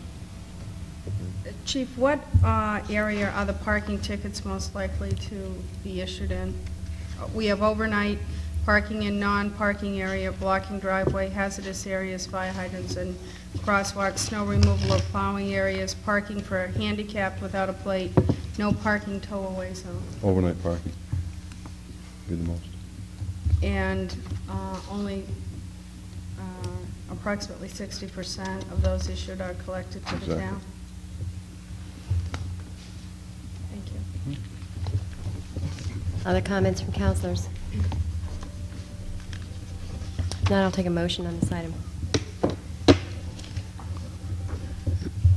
Madam Chairman? Counsel McLaughlin. I move that we approve the fee of $30 per hour for private work vouchers for the, for police personnel, approve the fee of $7 per copy for the zoning ordinance, and confirm the other town fees as presented in item 30 this evening. Is there a second? Second. Further discussion? All those in favor? Six zero. Item number 31, to consider a proposed amendment to the parking regulations relating to parking on Shore Road near Fort Williams Park, and take any necessary action. Mr. McGovern? As the council is well, well aware, we have a tremendous amount of congestion uh, on Shore Road near Fort Williams Park. Uh, It's, it's a year-round concern with uh, not only all the summer activities, but also the sliding and uh, some of the other uh, activities that go on during the winter. Uh, Whenever we have large events, we're, we're always putting out those little cardboard emergency no parking signs, which uh, do some good. Uh, Actually, they do a lot of good, but uh, it is, a- it it is a bit of a problem to put them out. Um, Looking at this area, had several considerations. One is possibly reducing the speed limit from 30 to 25. Uh, Another is uh, to uh, post it no parking in order to ensure a greater level of safety. After discussing this with the chief of police and with the director of public works, uh, coming for you tonight with a proposal that there be no parking allowed at any time on either side of Shore Road from the Chapel Road entrance or Fort Williams Park, which is the, the entrance between the current entrance and Surf Road that, that's unutilized. Uh, And this would go on as far as Dyer Pond Road, which is a uh, road that will probably be before you for acceptance uh, over the next couple of months. Uh, What I would suggest is uh, that you hold a public hearing on this. We have had one of the residents in the affected area already speak to us, uh, encouraging this item to come before the council. Uh, The woman felt strongly that the parking issue ought to be addressed in this area. So I would recommend to you the language uh, in the parking regulations as indicated. Counselor Amaro. Uh, I, I seem to remember when we were talking about the bikeways uh, on 77, that if a person in an area where no parking, where there was no parking lot on the road, was having a special function, for example, a wedding or some special party, that they could call the police uh, department and ask for a special dispensation or whatever, so they could park for that one event. Would that apply also to, to this? passed? Th- There was a lot of talk about that, and I can't say that, that it does not in fact happen. However, the council has never given any enabling ordinance giving the police department the authority to do that. And, uh, and the police department does do it, and, you know, in the interest of uh, working with the public, but, uh, you know, if the council does want that, I would suggest at some point uh, that you, you uh, enable the police department to uh, provide waivers. In this particular area, I believe also there were only uh, one, two, three, four, five, about six residences. It's, it's not a heavy impact area. And most of them do have uh, off other street parking options, either large driveways or uh, side roads. Counselor McLaughlin. I'd like to have the council consider that there be the no parking stipulation on either side of Shore Road, but extend it down to Surf Road rather than ending it at Chapel Road. Be- And I say this in part because of the corner at that location. And I think we would be just as well off to extend it that far. I did look at the area and thought, well, do we have to go even further down to the next road? Cottage Road, I think it is, I'm not, Cottage, thank you. I don't, I think it's wide enough there, even though it's on the corner, that I'm not as concerned, but I think we would be well advised to extend it to Surf Road and have the um, public hearing, the amendment that we might set to public hearing read that no parking at any time on either side of Shore Road from Surf Road to Dyer Pond Road. I also would say, I do not think that this um, proposed language needs to go to the ordinance committee. I would be in favor of setting it to public hearing for next month, rather than having the ordinance committee review it. Mr. McGovern, since um, you're partially the draftsman of this, would you want to respond to that change? Yes, uh, I looked at the Surf Road area and uh, didn't recommend it for two reasons. One is, is that it is quite a bit wider in that section, and uh, there's a lot more room for cars, and secondly, uh, second, there is a business uh, on that corner uh, that uh, would have uh, quite a detrimental effect uh, if it was extended even as far as Surf Road on either side. Uh, The post office is there, and uh, post office does quite a bit of business, and uh, it would be difficult for it. Counselor Jordan. One question I'll, I will, uh, maybe I should direct it to the chief, but uh, maybe the manager would rather handle it, I don't know. If we enact this as a no parking area on Shore Road, have we got to put up a sign all along Shore Road, the same as down to the school, the same down Kettle Cove Road, and line Shore Road with no parking signs to get no parking? At one time, I was told you had to do it if you wanted it legal. I don't know, on Kettle Cove Road this year, we only put half the amount of signs as we had put in, in previous years. Uh, Lester Jordan would kill me if he was watching. On uh, Ocean House Road, uh, also known as Kettle Cove Road, uh, you know, you do need signs where, where if they park, they can always see one off in the distance, uh, which, you know, wouldn't be too hard to achieve in this area, but you, you don't need them every 20 feet. But, you know, there would be a number of signs along there, but they'd be placed, you know, at a fairly good distance. is there some way that we could enact an ordinance or something that uh, have no parking on any street in Cape Elizabeth, so we wouldn't have put, a- I think it's disgraceful that you've got to line your streets with signs just to keep the people off them, but I guess that's the way the law is, and you'll have to live with it, but evidently people like the signs. I think that's horrible. Other comments? Councilor McLaughlin. I agree with their aesthetic value, Bill. I'm wondering if you can have one at the big, at the current entrance, one at Chapel Road, then a only a couple more with arrows on them. I mean, that, isn't that how they do it in Portland? They have arrows on them sometime, no parking, and the arrow indicates, you know, from here to the next arrow, you don't park. And then you can have fewer signs. Or is there a legal requirement for a spacing on the signs? As the manager mentioned, they've got to be visible from wherever you happen to park. Uh, There there is a little bit of disparity in the laws, however, because we we enforce the uh, overnight parking laws with no signs. Yeah, okay. We also get a lot of complaints about it. Uh, But um, typically, we we will prosecute those violations ourselves as under town ordinances. Either one of my officers can go in and prosecute it uh, in court, or we'd ask the town attorney to do that, although we try not to bother him with these particular violations. But we have not been successful in prosecuting typical, no, just obvious no parking violations without the sign being present. So uh, I I don't think, again, they have to be 20 or 30 or 40 feet. I'm not sure there's any requisite distance, but they have to be visible and obvious. But there's more than that in Ocean House Road down there. Well, if we can go down and bring those up and take them down to shore. Good idea. Other comments? If not, I'll take a motion on this item, please.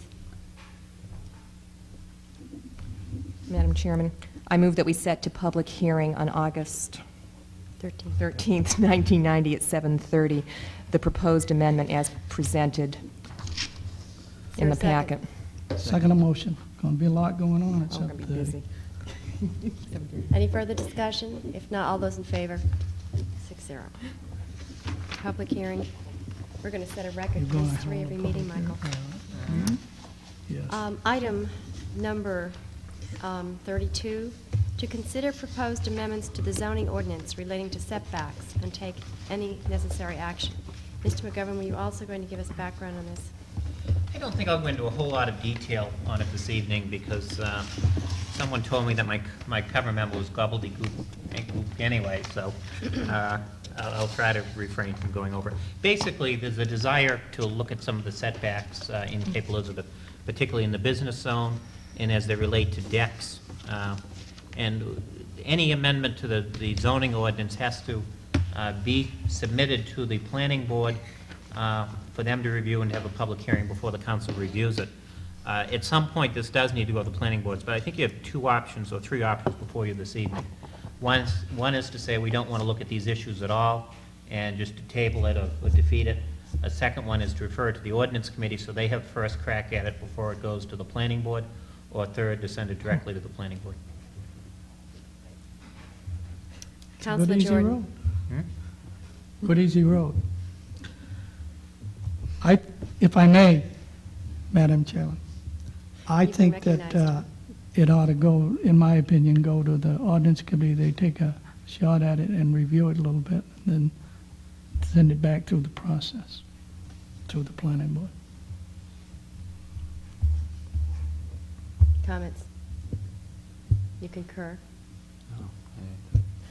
Counselor McLaughlin is chairman of the ordinance committee, who has a long list on their agenda.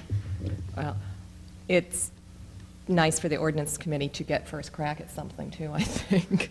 I'm wondering what the procedure would be if it went to ordinance committee. Could the ordinance committee then direct it directly to the planning board, or does it have to come back through the full council to go to planning board? It, I- the council needs to refer it to the planning board. uh, Okay. You know, what you, what you, what you could do is uh, r- send it to the planning board and request the ordinance committee look at it in the interim. We could both do it, be doing it at the same time, which I would just like to see us be able to deal with things as expeditiously as possible and not lose them in any of the black holes that have been known to exist, planning board or council black holes. I, I think it would be wise for us both to be working on it at the same time, and that way we'll be Mhm. keeping better track of it. Mhm. Also, I'd want a deadline, if it were forwarded to the planning board, as well as having input from the zoning board of appeals, since they are the ones that have to really work with these um, setbacks more in some situations than the planning board. Any other comments? I'll take a motion then. I'll make a motion, or I'll make a stab at it. I'll move that we send it to item 32 to the planning board for the purpose of reviewing setbacks, and that they report back to the council with it by December 1st.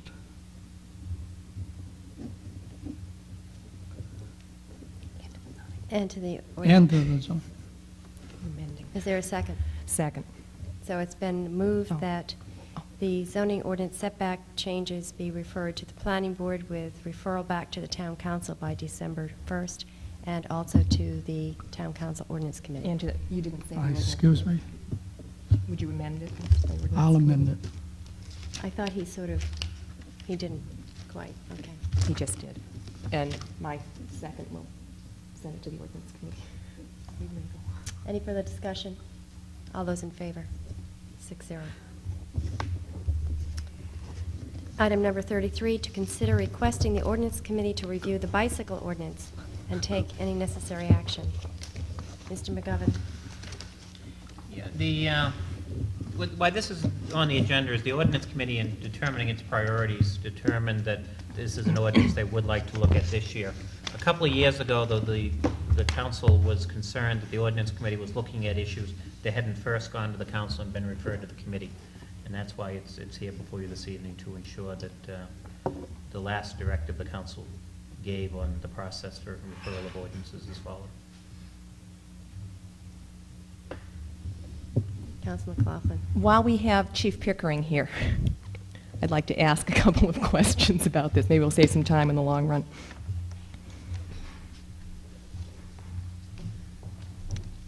Have you licensed many bikes in the past year?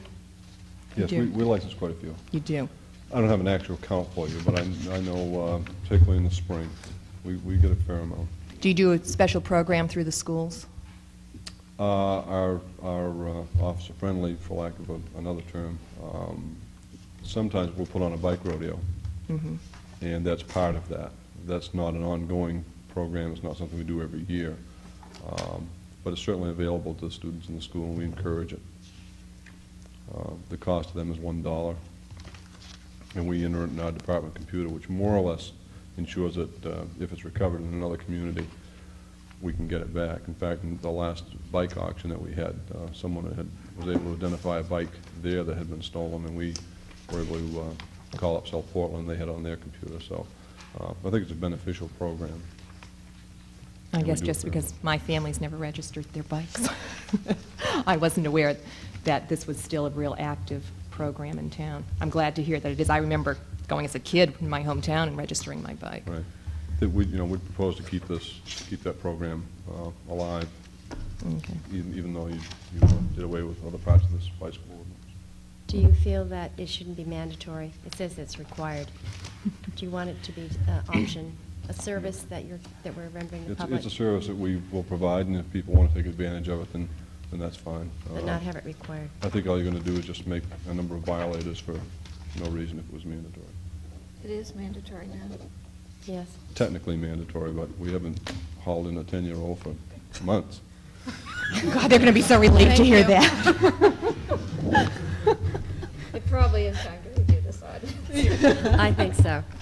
I'll take a motion on this item, please. Madam Chairman? Counselor I'd like, Jordan. if I may ask the chief a question, I tried to catch him before he sit down, but I don't want to tire him all out, but do you have any authority in this ordinance, these people that ride bikes on the highway? Some, some of them feel they own the highway, and you've got to get out of the way from them.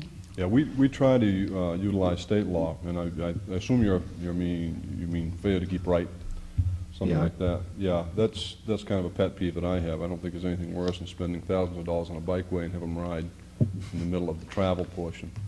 And I've been known to pull bikes over from time to time and uh, either issue a summons or or warn them as to uh, state law, but not as this ordinance. We we would probably issue, uh, issue a summons through state law as opposed to issuing a summons through this ordinance. I read somewhere, and I don't think it was the state of Maine, but I think it was Massachusetts, a guy got a speeding ticket on a bicycle. He was going too fast. And I see there is, you've got to go according to the speed limit. Yeah, you also have to stop at stop signs Yeah. and everything else. So would you like to have a motion? Yes, please.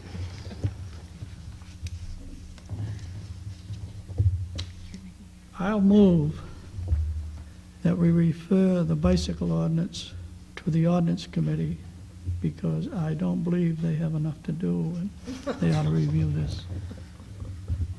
I'll second it begrudgingly after that comment. Any further discussion? If not, all those in favor of referring it to the ordinance committee? Six zero. Item number 34, to consider acknowledging receipt of a Pond Cove traffic study and take any necessary action. Mr. McGovern. Yes, about six months ago, the town council, through the roadway drainage improvement program, authorized a study of uh, traffic in, here at the town center. Uh, We did receive a report dated uh, June 1st, received a little bit after that, uh, for the, this Pond Cove Town Center area. Uh, The report uh, looks at traffic, uh, looks at a number of factors on whether or not a traffic signal would be warranted. As you noted in reading the report prior to this evening, when it, it has been reviewed on this technical basis, it does show that a number of the warrants uh, for a traffic signal have been satisfied. Uh, It, it does not say we need a traffic light today, it has to be there, we have a major public safety issue. But it does indicate that routine uh, traffic uh, highway safety analysis techniques shows that this is an intersection that probably ought to have a traffic light. Uh, The intersection, I don't think I've mentioned which one it is, but it's the, obviously it's the one uh, right in back of us at uh, Shore Road, Scott Dyer, and Route 77. Uh, The report indicates that currently, uh, a, a light with mast arms, which extends out and over, uh, would cost in the vicinity of $67,000. Uh, Obviously, I'm not going to propose tonight that we, council, that the council authorizes a, a traffic signal. What I would like to recommend is that this report be submitted uh, to the Portland Area Comprehensive Transit Study, PACS, uh, which is the regional funding agency for traffic improvements. Uh, They would uh, look at this report as well as all the other reports they receive of traffic safety needs uh, throughout the greater Portland urbanized area, which we are part of, and consider this uh, for funding. Uh, If, if in fact uh, it did receive in the, the review of regional needs a high, uh, high enough point total, uh, it would then need to come back before the Cape Elizabeth Town Council uh, for uh, approval once again, as well as for funding of uh, approximately 20% of the cost.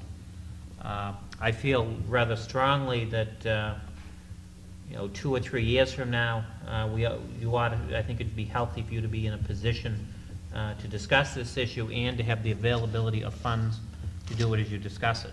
I think to foreclose that possibility uh, now would be uh, unfortunate, because I really don't think we can predict uh, two or three years from now. So my, uh, I think what I'm saying is, you know, as much as we want to maintain the rural character, uh, you know, the day is going to come, and uh, I would hope that the council would be ready for it uh, when that day does reach us. So I would uh, recommend that you authorize me to uh, submit this report uh, to PACS. So move. Second. Janet, are you seconding that motion? No, I'm not. Oh, I thought you said You said second. You said. Uh, Second, meaning a question. Second. Second, I can second. It's not protocol. All right, now Janet. I can ask my- Counselor McLaughlin. my yes. questions. I'm, I was kind of hoping we'd get a few shots at Bill Eaton tonight, because I had some great questions for him. I'll get him some other time. How does PACS determine the point total? And when it's rating projects? Aga- Are they rated against one another, or how is it done? Each project is rated on its own, uh, based on a, a whole lot of factors, which I can, I can give you a copy of. It's, uh, it's an extremely complicated formula. Uh, And then i it's simply a matter of who got the most points, and then it goes to the PACS Policy Committee. They debate the projects, and uh, they provide the recommendations of funding to the Maine Department of Transportation. If this is funded, and you said it's at about a 20% level, are, what kind of commitment are we under to accept those funds and proceed with the project? You're under no commitment. And I think an underlying concern is that the manager is our representative to PACS. He seems to be favoring this. Council Amaro. Yeah, uh, the manager also neglected to mention that on the cover page, the recommendation from uh, the engineer is that we proceed cautiously uh, with the idea of putting in a traffic light at this intersection because uh, in their professional opinion, that even though uh, the uh, complicated point system that they went through would suggest that we might at some point want to put a light there, uh, the fact is that it not only will slow down uh, traffic on Route 77, but in their estimation, it may cause more rear-end collisions. Uh, So I don't, I've never been much in favor of traffic lights, and um, I w- I look at this as a good argument to proceed very cautiously on this item. Councilor Jordan. I would, I would just like to say why I uh, agreed with the manager as far as proceeding. I think it's going to take a little while before we, the, the money comes available, and I don't think the light will be going on. But if, if you're a 77 rider in the morning, in the evening, you want to be without the light. But if you want to come the other direction, I think during the rush hour, maybe within a couple of years, you're going to want to see a light if you're going the other way, because you can sit there quite a few minutes sometime in the morning and in the evening. And uh, maybe it would have to be operated just at that time. I think needs further study, but if there's any bucks, that'll come down the line in a few years, because I hate to see a light hanging there, I think, but uh, the old timers got to give in sometime, it's going to be there. Councilor Reed. Uh, Madam Chairman, I have one other uh, comment for uh, the town manager, and that is item 23 tonight approved uh, changes in in zoning to allow Jonesy's to have approximately 40 feet less of entrance to uh, his facility. So um, there will be a slowing of traffic because of people turning left and right off Route 77, uh, which is not uh, included in this report, which might give us or take away some uh, points. No other comments? I'll move the um, motion. It's recommended that we authorize the town manager to um, forward this to the PACS for their consideration. Chairman. Oh, Another one. Uh, Apparently, I would hope you can tell from my comments, I'm not very much in favor of a traffic light here. I don't think that makes me an old-timer yet. We'll let Counselor Jordan determine that. I do remember what has happened to this town, however, when we went through a procedure with the sewers where we basically didn't make a decision in time to get some money that would have been available to us otherwise. Knowing that we do not have to accept the money if it is approved by PACS, I would vote in favor of sending this to PACS for their consideration, but would make absolutely no guarantee that I would be in support of a traffic light at that intersection. All those in favor of the motion? Six zero, Michael. You may begin. Enthusiastically. Be careful. Okay, item number 35, to consider approving loan criteria for the 401A money purchase plan and take any necessary action. This was um, from a recommendation from our last town council meeting, is that correct, Mr. McGovern? Yes. You want to review it for us? Yeah, it, uh, last month you approved uh, the 401A money purchase plan, which is a a deferred compensation uh, plan for those employees who are not members of the Maine State Retirement System. Uh, Within that, there was a, there was a check on the form whether or not you wanted to allow employees the right to uh, receive or apply for loans. Uh, The council agreed when this came before them that yes, you did. We then needed to come up with some criteria on how the loans would be reviewed and, reviewed and approved. Uh, Counselor Reed, who, who has some experience in this area, was very kind to provide me with some information uh, on uh, some language that's used in other plans that uh, she's aware of.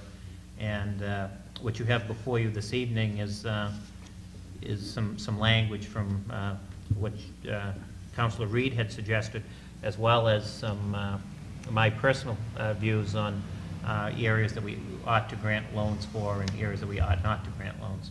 Uh, Specifically, the loans could be granted for, for hardship, and the definition of hardship is an immediate and heavy financial need of the employee.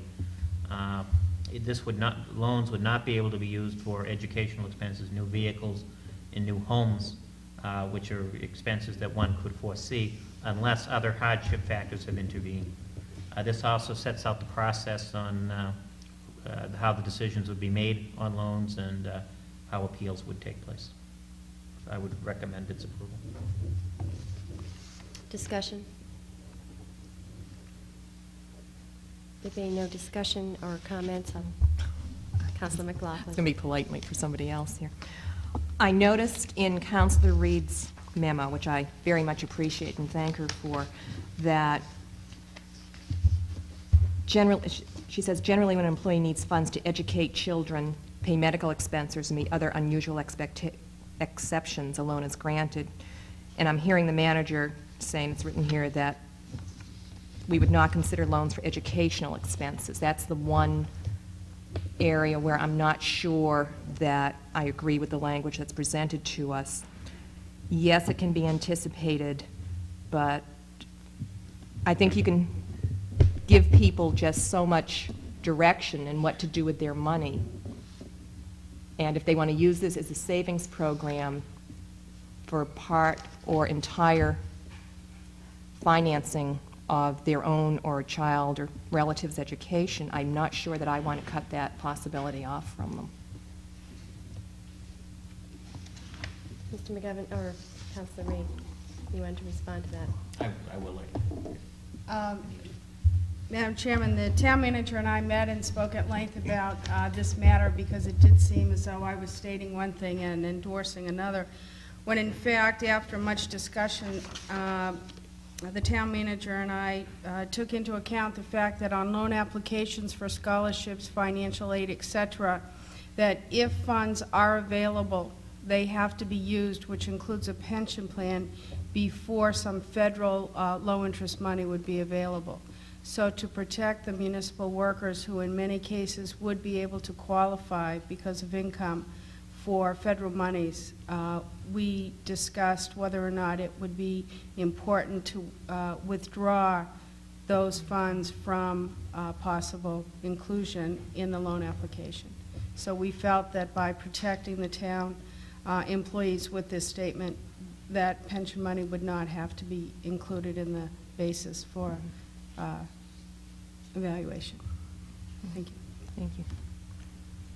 Other comments? If not, I'll, did you have anything further to add? Um, If not, I'll take a motion, please, on this item. Counselor Reed? Uh, Yes, Madam Chairman, I make a motion uh, that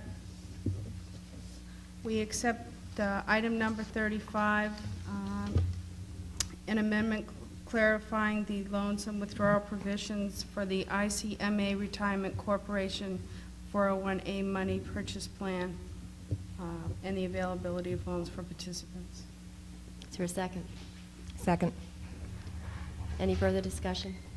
Mr. McGovern? I just would like to make clear, just so no one gets the wrong impression, is that Counselor Reed has absolutely nothing at all to do with this Oh. 401 money purchase plan. and uh, It's, uh, you know, she does this in private life, but uh, this is totally separate and apart from that, and she was just kind to provide advice on this Thank you. at- matter where she had no relationship to. Expertise, right? Thank you. All those in favor of accepting this um, program? Opposed? None. Item number 36, to consider proposed amendment to the zoning ordinance regarding the length of time for recording of variances approved by the Board of Zoning Appeals and take necessary action. Mr. McGovern? Yeah, Our zoning ordinance provides that variances need to be filed within 30 days. That was based on a state law that has since been changed, requiring that to happen within 90 days. Uh, Even though this is a, is a technical amendment, amendments nonetheless to the zoning ordinance uh, do need to be referred to the planning board. I would suggest that the council do that. Comment? Counsel McLaughlin? Have we had any comment from the zoning board of appeals on this? Are they aware of it? Yes, there was, there was a memo between Larry Clough, the chairman, and Ernie, and um, that just kind of sat there, just, it was one of those black holes. Uh, I'm not sure, and that's why it appears here. Okay. Then I would like to move that we um, send this item to the planning board and ask that they get a reply back to us by September 1st. Second motion. Any discussion? All those in favor? Six zero. Item 37, to consider a report from the ordinance committee regarding an amendment to the town ways ordinance relating to the backfilling of trenches and take any necessary action. Counsel McLaughlin? Caught me on that one. This predates me. Could I refer this to the manager, please? Yes. It was just He can read it as well as I can, but he, he's got more history with it. All right, You're just trying to still prove that you're no longer an old timer. Sure. Uh, Bob Bally, our Director of Public Works, brought to the, my cons- uh, attention back in, on November 9th, 1989, a, uh, a concern he had that when, when trenches are opened up on our roads, that there, there was no requirement to uh, get them filled in quickly. Uh, He uh, developed a proposed amendment uh, to the uh, Town Ways Ordinance that provides that they need to be filled in uh, within 24 hours. Uh, This was uh, reviewed by the Ordinance Committee and approved by them to be recommended to the council on May 9th, 1990. Any, any comments or discussion? If not, I'll take a motion on this. I ordinance move we set it to a public hearing on August 13th, 1990 at 7:35. Is there a second? Second. Any further discussion? All those in favor?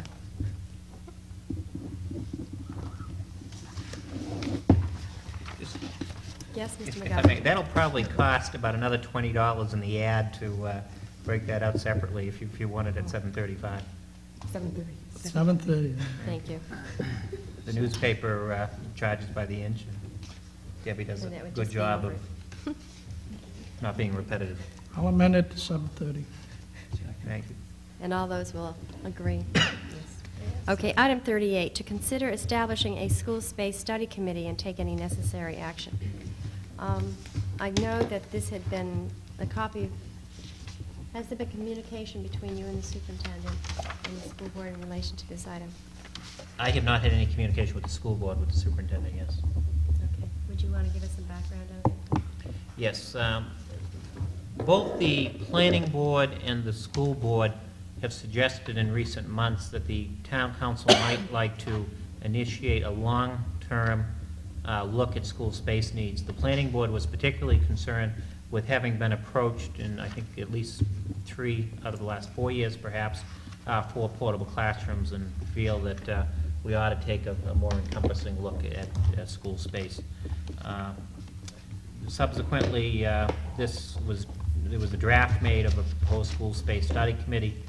Uh, This particular draft provides that it would have seven members. There'd be a chairman appointed by uh, Peter Leslie, the chairman of the school board, uh, along with Chairman Cogswell.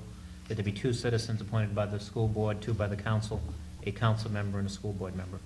The committee would review current and projected school enrollments and make recommendations on future school space utilization needs. Uh, The committee uh, would make a progress report to the council and the school board in February of next year, would uh, make a progress to the planning board in March, and a final report by uh, a year from now. That's the proposed draft. If the council approves this, it would then go on to the, since the school board is also one of the appointing authorities, it would go by them as well for uh, for their final review before the positions are actually appointed, just to ensure that uh, this is agreeable with them. Counselor Reed. Uh, Madam Chairman, since the school board is not having a July uh, meeting, does that mean that they would not be able to approve this until um, August or September? August. School boards can only vote in, you know, at public meetings, so. Thank you. They could, they could call a special meeting. Thank you. Counselor McLaughlin. I think part of that consideration is why the appointment, we have the appointments being made as late as October 15th, understanding the process that council goes through in making appointments and imagining that the school board would follow a similar process. I know I've had two citizens indicate to me a strong interest in serving on this kind of committee.